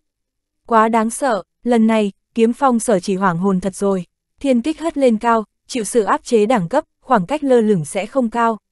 Nhưng Hàn Yên Nhu trong khoảng thời gian ngắn ngủi lại thực hiện được cả hai chiêu long nha và viên vũ côn, mà còn chuẩn xác đến như vậy. Tốc độ tay đấy, thao tác nhỏ nhặt đấy khiến kiếm phong sở chỉ phải đánh giá lại lần nữa. Gã nghiêng người né được tên cư dân bị long nha đâm trúng, ai ngờ chợt thấy quả cầu rực lửa huyễn văn bay nhanh tới, đập trúng người kiếm phong sở chỉ ngay khi gã lướt qua tên cư dân nọ. Huyễn văn nổ tung, đến kiếm phong sở chỉ cũng bị sóng xung kích ảnh hưởng. Công kích của huyễn văn thuộc tính hỏa vốn cũng gây chút hạn chế. Hóa ra không chỉ mỗi long nha và thiên kích, trong khoảng thời gian như vậy lại còn phóng ra huyễn văn thuộc tính hỏa ư. Mà còn có thể khống chế nó nổ chúng mình, đây không phải sự trùng hợp. Thao tác của nhỏ này quá lợi hại. Trong lúc kiếm phong sở chỉ đang suy nghĩ, công kích của Hàn Yên Nhu sớm đã đến trước mặt gã, trường mâu xích nguyệt đâm thẳng vào mặt, thoạt nhìn cứ như muốn dùng một mâu băm gã thành cám. Kiếm phong sở chỉ không dễ đối phó như NPC quái, gã bước ngang tránh khỏi công kích của Hàn Yên Nhu. Sau đó nhảy tiếp ra sau hai bước, trường mâu của Hàn Yên Nhu đúng lúc đâm về phía gã hai nhát, kết quả đều đâm vào khoảng không. Đường Nhu ngẩn ra, kẻ ganh đua hiếu thắng như cô, trạng thái ngược lại bùng nổ mạnh mẽ trong tình huống như vậy. Bất kể tốc độ tay hay các thao tác nhỏ đều xuất sắc hơn ngày thường. Cú liên chấp này, cô tự cho là mình đã nối liền rất nhanh, nhưng không ngờ rằng, đối thủ trước mặt như sớm biết cô sẽ làm thế, cứ từng bước nhảy thoát. Đường Nhu đã hoàn thành thao tác, tốc độ tay quá nhanh để thu tay, sau khi dùng chiêu liên chấp ấy, trông đường nha cứ như một tên ngốc bị trêu đùa. Kiếm phong sở chỉ cười ha hả, trở tay đáp trả bằng xiên lên. Đường Nhu không chút nghĩ ngợi liền nhảy ra sau, kết quả một tiếng bộp vang lên, hóa ra Hàn Yên Nhu đã bị kẻ trộm Noel đuổi kịp đánh chúng. Thù hận của tên trộm này đương nhiên thuộc về Hàn Yên Nhu, song nó không hề tranh thủ cơ hội trốn chạy. Đám cư dân của thành tội ác vừa mới nằm đo đất, giờ đã lật người đứng lên hết, quyết nhào tới không tha. Tình cảnh như vậy, đường nhu thế nhưng còn bướng bỉnh hơn cả đám NPC, một lòng lao về phía kiếm phong sở chỉ. Trường mâu xích nguyệt đâm lên, thiên kích văng ra, rồi lại bị kiếm phong sở chỉ ung dung tránh thoát. Cô xoay nửa người, tay trái theo đà đưa lên, lạc hoa trưởng bá đạo lại đánh vào hư không, đánh hụt ư, vì sao hụt chứ, đường nhu không cảm thấy thao tác của mình có vấn đề gì, thế nhưng đối phương dường như nhìn thấu tất cả ý định của cô. Trong lúc mơ hồ đường nhu cảm giác mình biết rõ nguyên nhân, thế nhưng vào lúc nguy cấp, cô không thể tĩnh tâm để ngẫm nghĩ. Lúc này trong lòng cô chỉ có một suy nghĩ duy nhất chiến. Dù bản thân có bị đám quái kia vây chết, thì ít nhất cũng phải kéo theo cái tên âm hiểm này về thành dưỡng sức cùng. Chiến ý của đường nhu lần thứ hai tăng lên, tiếp tục liều mạng thao tác. Đâm, móc, quét ngang. Bấy giờ, cô chỉ dùng một vài công kích thường. Chiến mâu có tốc độ chậm nhất, giờ lại đánh ra tiết tấu như lốc xoáy. Tốc độ tay của đường nhu tăng hẳn một bậc, mà thay vào đó là mất đi sự chuẩn xác trong các thao tác nhỏ. Ba chiêu công kích liên tiếp này, có đánh trúng kiếm phong sở chỉ hay không, đến chính đường nhu cũng không xác định được. Cô chỉ biết là, công kích của mình hướng thẳng về hướng đấy, bản thân cứ hướng thẳng đến cái tên kiếm phong sở chỉ, có chết cũng phải dẫm chết thằng này trước. Công kích bình thường cơ bản, lại nhận được hiệu quả không tưởng. Kiếm phong sở chỉ không còn thong dong tránh như trước, ba chiêu công kích liên tiếp khiến gã luống cuốn tay chân, sau cùng một chiêu quét ngang chắc cú là không thể tránh khỏi, bị chọc trúng hông, nhân vật lảo đảo hai bước sang bên. Cảnh tượng thong dong tránh né công kích của Hàn Yên Nhu lúc nãy dĩ nhiên không còn. Đường Nhu đột nhiên hiểu được chuyện gì đang xảy ra, loại thủ pháp chiến đấu này, là Diệp Tu đã từng dạy cho cô. Hiểu biết kỹ năng, chú ý đến nó, mà kiếm phong sở chỉ cũng đang dùng chính phương pháp ấy. Trong nháy mắt ngắn ngủi vừa rồi, đường Nhu cho Hàn Yên Nhu thi triển bốn kỹ năng lạc hoa trưởng, thiên kích, long nha và viên vũ côn, sau đó cô xông nhanh đến trước mặt gã. Mà khi đó, bốn kỹ năng này đều đang đóng băng, huyễn văn cũng phải đánh trúng mục tiêu mới có thể phóng ra, thế thì, một pháp sư chiến đấu cấp 31 như Hàn Yên Nhu chỉ còn mỗi chiêu liên chấp. Tên kiếm phong sở chỉ đoán được điều này, cho nên mới có thể dự đoán chính xác chiêu liên chấp. Mà lúc này, từng kỹ năng của Hàn Yên Nhu lần lượt hết CD theo thứ tự, đường Nhu thi triển xong chiêu này sẽ thi triển tiếp chiêu kia, đúng lúc bị kiếm phong sở chỉ nhìn thấu nên mới có thể né hết chiêu này đến chiêu khác. Tốc độ tay của đường Nhu, vào lúc này ngược lại ban cho đối thủ một ân huệ lớn. Bởi vì tay cô quá nhanh, ra chiêu cũng nhanh, mới có thể thoáng cái dùng hết một loạt kỹ năng. Sau đó dựa vào thời gian cooldown dài ngắn, nên đối phương mới có căn cứ để phán đoán. Tên kiếm phong sở chỉ cũng không đơn giản đâu. Biện pháp mà Diệp Tu dạy cô, đường nhu tất nhiên đã luyện, nhưng loại phán đoán này nói thì dễ, thực hành mới khó.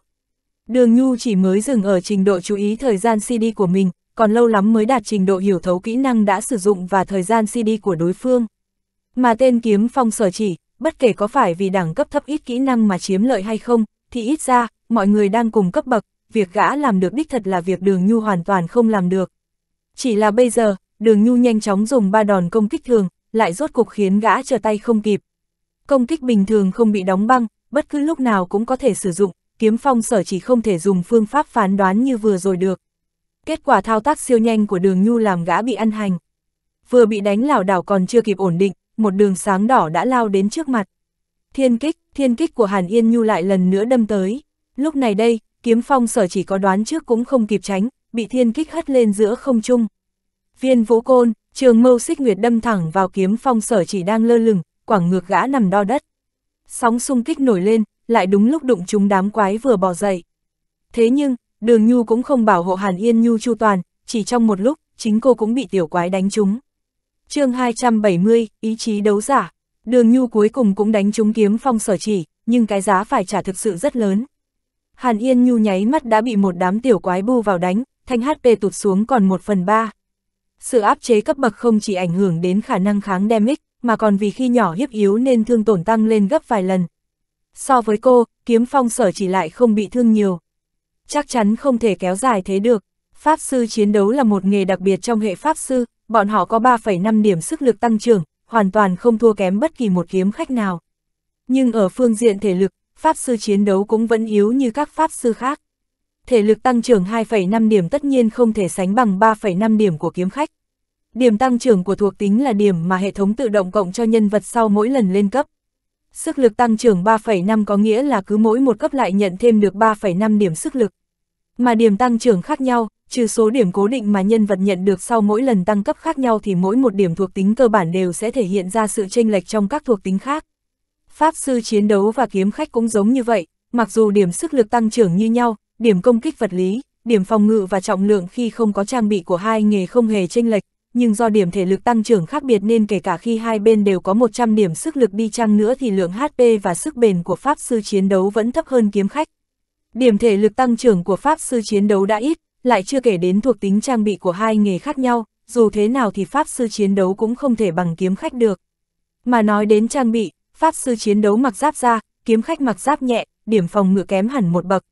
Thể lực và phòng ngự đều không bằng, Pháp sư chiến đấu lấy gì để cù nhây với kiếm khách. Huống chi cấp của kiếm phong sở chỉ rất cao. Huống chi đối thủ của kiếm phong sở chỉ chỉ có mình Hàn Yên Nhu, mà cô, ngoài gã ta ra còn phải đối đầu hơn chục cư dân hung tàn và thêm một kẻ trộm Noel đang dương oai diếu võ kia nữa. Cực kỳ khó nhằn, tuy nhiên, so với ca, O Diệp Tu, Đường Nhu vẫn thấy đây không phải là một nhiệm vụ bất khả thi. Tay Hàn Yên Nhu vùng chiến mâu ngăn đám quái bên người lại, rồi nhanh tay nuốt một bình HP. Muốn chiến đấu liên tục ở cường độ cao nhất thì phải kiểm soát được tiết tấu cắn thuốc, khi thấy thanh HP và mana bắt đầu tụt xuống, phải biết dùng thuốc có ý thức. Lúc này những gì Diệp Tu từng dạy đều hiện lên trong đầu, đường nhu biết rằng trận này không thể không gian khổ, cô lại càng chuyên tâm cố gắng. Long nha, trường mâu xích nguyệt đâm ra, sượt qua người hai cư dân phóng thẳng tới kiếm phong sở chỉ, kiếm phong sở chỉ vội vàng xoay người né được, lập tức Hàn Yên Nhu liền tung ra một chiêu lạc hoa trưởng đánh mấy tiểu quái trước mặt ngã trái ngã phải, khiến kiếm phong sở chỉ bên cạnh chúng hết đường trốn tránh. Kiếm phong sở chỉ vội vàng nhảy cao, một thao tác này vô cùng xuất sắc, vừa chuẩn tránh được đám quái đang bị xô đến. Liếc mắt xuống dưới, gã nhìn thấy một sơ hở cực lớn của Hàn Yên Nhu, hai tay bèn lập tức nắm chặt thanh kiếm quang định bổ một chiêu ngân quang lạc nhẫn, nhưng trong đầu chợt nghĩ tới điều gì, lệnh thực hiện cuối cùng lại không đánh ra. Kỹ năng chưa ra nhưng thao tác thi triển đã xong, kỹ năng đương nhiên sẽ bị đóng băng không xài được. Tuy trông như đang lãng phí một chiêu, nhưng trong những cuộc đấu cao cấp, những chiêu giả bộ như thế lại thường ẩn chứa ý đồ. Có điều, kiếm phong sở chỉ không định xài chiêu giả gì, nhân vật đáp vững trên đất, gã cong khóe miệng cười khẩy, muốn gạt anh mắc mưu. Mỹ nữ à, cưng còn ngây thơ quá. Kỹ năng ngân quang lạc nhẫn có thể đánh trúng Hàn Yên Nhu nhưng sóng địa chấn của nó cũng sẽ đánh trúng đám quái xung quanh. Chỉ chớp mắt kiếm phong sở chỉ đã đoán được ý đồ của Hàn Yên Nhu, cô nàng muốn lừa mình cướp thù hận của đám quái đây mà. Cưng cứ từ từ chơi đi há. Kiếm phong sở chỉ cười tung một chiêu tam đoạn chảm, tuy không đánh tới Hàn Yên Nhu, nhưng kéo giãn được một khoảng khá xa. Kế hoạch của đường Nhu thất bại, thấy kiếm phong sở chỉ không mắc mưu lại còn trốn được rất xa, cô liền có cảm giác không ổn. Tính lừa gạt tên gừng càng già càng cay này, quả thật ngây thơ quá rồi. Có lẽ mình chỉ có thể dựa vào những thao tác quyết tiến không lùi thôi. Dưới chân Hàn Yên Nhu là huyễn văn không thuộc tính tăng tốc độ di chuyển, trên tay là huyễn vân thuộc tính hỏa tăng sức lực, toàn thân trên dưới sung mãn, cô dũng cảm lao thẳng về phía kiếm phong sở chỉ. Ngược lại kiếm phong sở chỉ chỉ muốn thăm dò tính cách và ý định của cô, gã không tiếp tục kéo dài nữa mà chỉ quay đầu bỏ chạy. Tuy rằng Hàn Yên Nhu có ưu thế về tốc độ di chuyển, nhưng kiếm phong sơ chỉ rất thành thơi còn cô lại bị một đám quái dài rằng giặc bám theo sau, cứ mỗi lần đánh trúng kiếm phong sở chỉ, thì không thể nào đánh tiếp chiêu thứ hai. Nếu đường nhu phất lờ lũ quái đang bám đuôi, cô chắc chắn sẽ ngã xuống trước tiên. Cho dù như thế, thanh HP của kiếm phong sở chỉ cũng tụt không ít. Thế nhưng kiếm phong sở chỉ không hoảng hốt chút nào, gã chỉ từ tốn uống một bình máu, lại còn uống trước mặt Hàn Yên Nhu, đường đường chính chính uống cho cô xem. Mấy kỹ xảo chơi game mà Diệp Tu dạy hoàn toàn không phải bí thuật hiếm lạ gì, đó chỉ là điều cơ bản mà bất kỳ ai muốn thành cao thủ cũng phải học. Thực ra người hiểu lý thuyết không hề ít, giống như ở thần lĩnh chi vực, cứ cô tay là vơ được một đống. Có điều, hiểu thì hiểu, vận dụng được mới tính là cao thủ, còn vận dụng được tới đâu, đấy mới là chỗ tranh lệch của mỗi người. Đương nhiên là kiếm phong sở chỉ cũng biết phương pháp chiến đấu liên tục trong thời gian dài, gã không chút hoang mang dùng thuốc, lại còn dùng đến kiêu ngạo như vậy, hiển nhiên là để đường nhu tuyệt vọng. Kiếm phong sở chỉ vốn không để ý thời gian, thoáng nhìn thử mới thấy hoảng sợ. Hai người dây dưa đã hơn 20 phút rồi. 20 phút cùng với hơn chục con quái bu quanh, hơn chục con quái cao hơn 6 cấp, thế nhưng cô nàng vẫn trụ ổi, lại còn quyết chí muốn đuổi giết mình, con nhỏ này ác độc quá đi. Kiêu ngạo cắn thuốc, ngay tức thì gã nhìn thấy đối phương vừa tiến về phía mình vừa cắn thuốc theo. Không hề dao động, không hề từ bỏ, chỉ một hành động cắn thuốc nho nhỏ đã bộc lộ rõ ràng sự cố chấp của mình.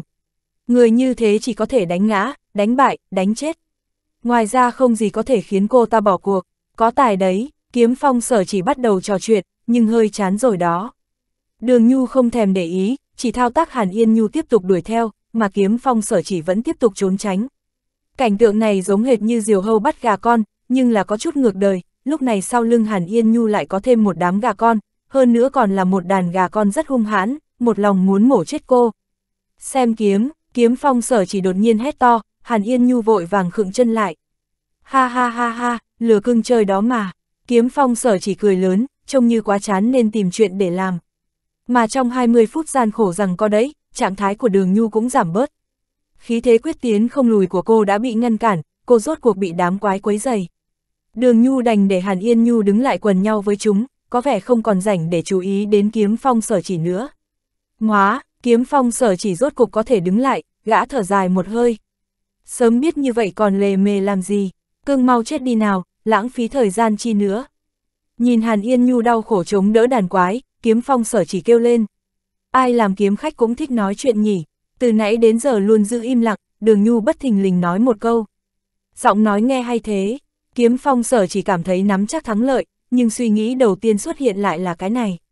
Tiếc rằng gã cũng nghe thấy sự lạnh lùng và sát khí trong giọng nói ấy, mà quả thật cũng không có gì lạ, cô nàng bị trêu đến vậy, còn hớn hở mới là chuyện lạ. Anh nói nhiều vậy mà không chán sao. Cùng lúc âm thanh vang lên là một tiếng nổ ầm ầm đinh tai, một tia sét bổ đôi bầu trời của thành tội ác, đám quái bên cạnh Hàn Yên Nhu đột nhiên bay lên. Lạc hoa trưởng, là lạc hoa trưởng đi đôi với sấm sét, trông Hàn Yên Nhu càng thêm hùng hồn gấp bội. Kiếm phong sở chỉ cứ ngỡ mình nhìn thấy ảo giác, lạc hoa trưởng bị áp chế cấp bậc thế nhưng mạnh hơi quá rồi đấy. Kiếm phong sở chỉ không kịp suy nghĩ nữa, bởi Hàn Yên Nhu lại lao thẳng đến trước mặt gã. Cưng cố chấp thật đấy, giọng kiếm phong sở chỉ nghe có chút bó tay nhưng kiếm của gã tuyệt không như vậy, một chiêu rút đao chảm đã xong. Cô nàng này dây dưa với đám quái lâu như vậy, mình chỉ mới chém chúng hai phát, chắc không hút nhiều thù hận lắm đâu. Kiếm phong sở chỉ suy tính rất kỹ, một kiếm vung tới không hề lưu tình. Hàn Yên Nhu nhảy lên cao, nhảy qua khỏi đường kiếm khí của rút đao chảm. Chật, kiếm phong sở chỉ không thể không thừa nhận thao tác của Hàn Yên Nhu quả thật rất lợi hại, lợi hại hơn cả mình. Long nha, Hàn Yên Nhu nhanh chóng phóng ra một kích trên không, kiếm phong sở chỉ cũng không hoảng không loạn, nhẹ nhàng nhảy về sau. Một tiếng phập vang lên, chúng, thế đéo nào, kiếm phong sở chỉ kinh ngạc, một mâu này sao có thể đâm chúng mình. Hình như tốc độ tấn công của cô nàng đột nhiên nhanh hơn. Còn không kịp ngẫm nghĩ vấn đề này, kiếm phong sở chỉ đột nhiên để ý thanh HP của mình. Gã không thể không để ý đến, bởi chúng một chiêu long nha thôi làm sao thanh HP có thể tụt xuống nhiều như vậy. Vừa rồi chẳng qua chỉ là một chiêu long nha mà đã mất nhiều máu đến thế ư. Thanh HP của mình lúc trước không phải còn đầy nguyên cây sao. Không đúng tí nào, hình như gã thật sự nhìn thấy thanh máu tụt cái vèo. Lại một vòng cung đỏ lao tới. Cái gì, chiêu theo tiếp theo đã tới. Thật sự trở nên nhanh hơn ư. Kiếm phong sở chỉ mới chỉ kịp nghĩ vậy, cả người đã bị đánh bay lên. Hai lần đâm thẳng liên tiếp đâm mạnh vào người gã.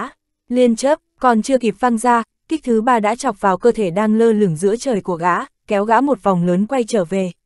Không đúng, sao tổn thương lại cao thế được, chỉ là ba kỹ năng thôi mà. Kiếm phong sở chỉ lúc này đã hoàn toàn luống cuống. Long nha, thiên kích, liên chấp, chỉ ba kỹ năng nhưng thanh HP của gã đã tụt còn một nửa. Bị viên vũ côn quất cho té chồng vó, góc nhìn của kiếm phong sở chỉ thoáng lia chúng hẳn yên nhu, xung quanh cô đang được bảo phủ bởi một vầng hào quang vàng nhạt. Trước đó do mưa phùn quá to, gã không hề để ý tới. Kiếm phong sở chỉ lập tức ngây người, gừng càng già càng cay như gã đương nhiên không thể không biết kỹ năng này. Kỹ năng thức tỉnh của Pháp Sư chiến đấu cấp 50, ý chí đấu giả. Sao nó có thể xuất hiện vào lúc này? chương 271, ý chí đấu giả giai đoạn 7. Đương nhiên, một kỹ năng cần hoàn thành nhiệm vụ thức tỉnh cấp 50 mới học được không thể nào lại xuất hiện trên một nhân vật cấp 31. Thế nhưng, hào quang vàng nhạt bao quanh Hàn Yên Nhu, cùng sức lực và tốc độ tấn công đột một tăng lên lúc này, chắc chắn là ý chí đấu giả. Ý chí đấu giả có thể nâng cao liên tục khả năng chiến đấu của Pháp sư chiến đấu và tăng trạng thái chiến đấu của bản thân. Mà sự nâng cao ấy cần dùng liên kích để thực hiện. Khi liên kích 10, tốc độ tấn công thêm 0,5, tốc độ di chuyển thêm 2, sức lực tăng 30. Khi liên kích 20, tốc độ tấn công thêm 1, tốc độ di chuyển thêm 4, sức lực tăng 50. Khi liên kích 30, tốc độ tấn công thêm 1,5, tốc độ di chuyển thêm 6, sức lực tăng 70. Từ đó suy ra, trong tất cả 7 giai đoạn, giai đoạn cuối cùng sẽ tăng mạnh hơn những giai đoạn trước. Ở giai đoạn 7, cần liên kích 120, tốc độ tấn công thêm 6, tốc độ di chuyển thêm 24, sức lực tăng 260. So với giai đoạn 6, bất kể là yêu cầu liên kích hay thuộc tính cộng dồn đều tăng gấp đôi. Mà tăng thuộc tính là gì? Tốc độ tấn công thêm 6, cách xa tốc độ chậm nhất của những vũ khí như trọng kiếm và thái đao. Tốc độ di chuyển thêm 24, cao hơn 4 so với huyễn văn không thuộc tính tăng mắc cấp. Trong đó, sức lực tăng 260 còn đáng sợ hơn cả. Một pháp sư chiến đấu không đeo trang bị, không có thuộc tính tăng thêm bởi sách kỹ năng, sức lực mỗi cấp tăng trưởng 3,5 thì sức lực khi mắc cấp 70 chỉ mới 245. Quỷ trận của quỷ kiếm sĩ, mắc cấp tăng 150 điểm sức lực. Huyễn văn thuộc tính hỏa của pháp sư chiến đấu, mắc cấp tăng 125 điểm sức lực. Vậy nên ý chí đấu giả giai đoạn 7 tăng sức lực kinh khủng khiếp đến nhường nào. Kiếm phong sở chỉ là tay lão làng đầy kinh nghiệm, Hàn Yên Nhu đến nhanh, tấn công cũng nhanh, thanh máu tụt ào ào sau khi dính đòn khiến gã nhận ra, đây chính là ý chí đấu giả, còn biết rõ là ý chí đấu giả giai đoạn 7. Hào quang vàng nhạt đã chứng minh tất cả, chỉ có ý chí đấu giả giai đoạn 7 mới có lớp hào quang bắt mắt bao quanh như vậy, ước chừng rực rỡ gấp đôi, trông rất dễ nhận ra. Ý chí đấu giả giai đoạn 7 rất đáng sợ, nhưng nó không thể xuất hiện trong PK. Nếu 120 liên kích dồn hết lên người kiếm phong sở chỉ, gã đã sớm tạch, đào đâu ra thời gian chờ nó lên tới 7. Giai đoạn 7 chỉ xuất hiện trong những trận hỗn chiến thế này, nơi có nhiều mục tiêu công kích mới nhanh chóng tích đủ liên kích. Hàn Yên Nhu đã lợi dụng những con quái đang xoay quanh mình, dồn liên kích lên đến 120, đạt được ý chí đấu giả giai đoạn 7, rồi sau đó mang theo trạng thái ấy tấn công kiếm phong sở chỉ. Còn ý chí đấu giả tự nhiên nhảy đâu ra, kiếm phong sở chỉ cũng không quá bất ngờ. Đây là hoạt động Giáng sinh đấy, người chơi có thể sử dụng tất cả những vật phẩm, trang bị, thuốc hoặc bất kỳ thứ gì lấy được từ tay kẻ trộm, mà sử dụng xong sẽ không thể đổi quà ở chỗ ông già Noel nữa. Chúng không thể giao dịch, không thể vứt bỏ, quăng vào cửa hàng của hệ thống cũng không được tiền, sau khi hoạt động kết thúc sẽ bị hệ thống thu hồi ngay và liền. Dĩ nhiên, người chơi lý trí sẽ không vì món lợi nhỏ nhất thời, nhưng Hàn Yên Nhu là vì tình thế bắt buộc, cô đã dùng một đạo cụ lấy được từ tay kẻ trộm Noel. Quyền trục thêm kỹ năng, tác dụng của quyền trục thêm kỹ năng là gắn thêm một kỹ năng vào trang bị trên người, nhằm nâng cao đẳng cấp trang bị. gắn thêm một lần tăng một cấp kỹ năng, thêm hai lần thì tăng hai. Mà cấp bậc tăng lại không bị hạn chế bởi cấp bậc cao nhất của kỹ năng. Nói cách khác, kỹ năng vốn chỉ dùng điểm học được tới cấp 10, dùng quyển trục thêm kỹ năng phụ ma vào trang bị, nó có thể nâng kỹ năng lên tới 11, 12 thậm chí 13. Có điều, đừng nghĩ rằng muốn tăng bao nhiêu thì tăng. Quyền trục thêm kỹ năng tuy có thể làm được, nhưng số lần phụ ma trang bị cũng có giới hạn. Nhưng cần chú ý, muốn nâng cao cấp bậc của kỹ năng nào, nhân vật phải học kỹ năng đó trước. Nếu đó là một kỹ năng chưa học, thì khi phụ ma vào vũ khí, nó sẽ được sử dụng từ cấp 1. Những thiết lập ấy được giới thiệu tường tận trong mỗi một quyển trục. Mà Đường Nhu cũng đã phụ ma một quyển trục thêm kỹ năng ý chí đấu giả vào trường mâu xích nguyệt của Hàn Yên Nhu. Vì thế cô có thể dùng được kỹ năng cần cấp 50 mới học được khi chỉ 31, một kỹ năng mang đậm phong cách của Pháp sư chiến đấu ý chí đấu giả. Hơn nữa, hệ thống còn vô cùng rộng tay cho kỹ năng hoạt động Giáng sinh. Mới gắn một quyển trục thôi, Hàn Yên Nhu đã thu được ý chí đấu giả mắc cấp. Quá hiển nhiên, chỉ là một hoạt động tạm thời, bên nhà game cũng không lo trật tự trò chơi bị rối loạn, nhà game chơi thả ga như vậy, cốt là để đám ma mới ở khu mới có cơ hội trải nghiệm các kỹ năng cấp cao, củng cố động lực chơi tiếp của mình. Suy tính ấy quả là ân huệ to lớn cho đường Nhu. Nói thật, đường Nhu không biết hết những thiết lập này. Có điều, cô vẫn thường nghe Trần Quả kể về kỹ năng ý chí đấu giả đặc trưng của Pháp sư chiến đấu, coi như biết khá rõ. Lúc nhìn đến trong túi có một quyển trục, còn bảo chỉ cần gắn vào vũ khí là có thể sử dụng, cô lập tức sử dụng ngay. Thật ra trong tình huống bình thường, nếu gắn một quyển trục vào, Hàn Yên Nhu chỉ có được ý chí đấu giả giai đoạn 1, đánh ra 10 liên kích và được cường hóa bởi giai đoạn 1. Giai đoạn 1 không gây ra bất kỳ tác dụng ngược đời nào. Nhưng trong thiết lập của hoạt động ngoài ý muốn này, ý chí đấu giả mắc cấp đã khiến thực lực của Hàn Yên Nhu bùng nổ dữ dội. Cấp 31 đột nhiên có thêm 260 điểm sức lực, đây còn đáng sợ hơn chuyện 50 hay 70 có thêm nhiều sức lực như vậy. Bởi vì tỷ trọng giữa các thuộc tính khác xa nhau, kiếm phong sở chỉ hiểu ra rất nhanh, chỉ tiếc đã quá muộn màng. Tuy kinh nghiệm của gã phong phú, nhưng hoạt động mang tính ngẫu nhiên, mà tình huống ngẫu nhiên lại không thuộc kinh nghiệm của gã. Viên vũ côn vung ra, kiếm phong sở chỉ bị quất ngược trên đất, thanh máu tiếp tục giảm xuống, Hàn Yên Nhu chỉ mới tấn công 4 kỹ năng, nhưng máu của gã chỉ còn hơn 1 phần 3.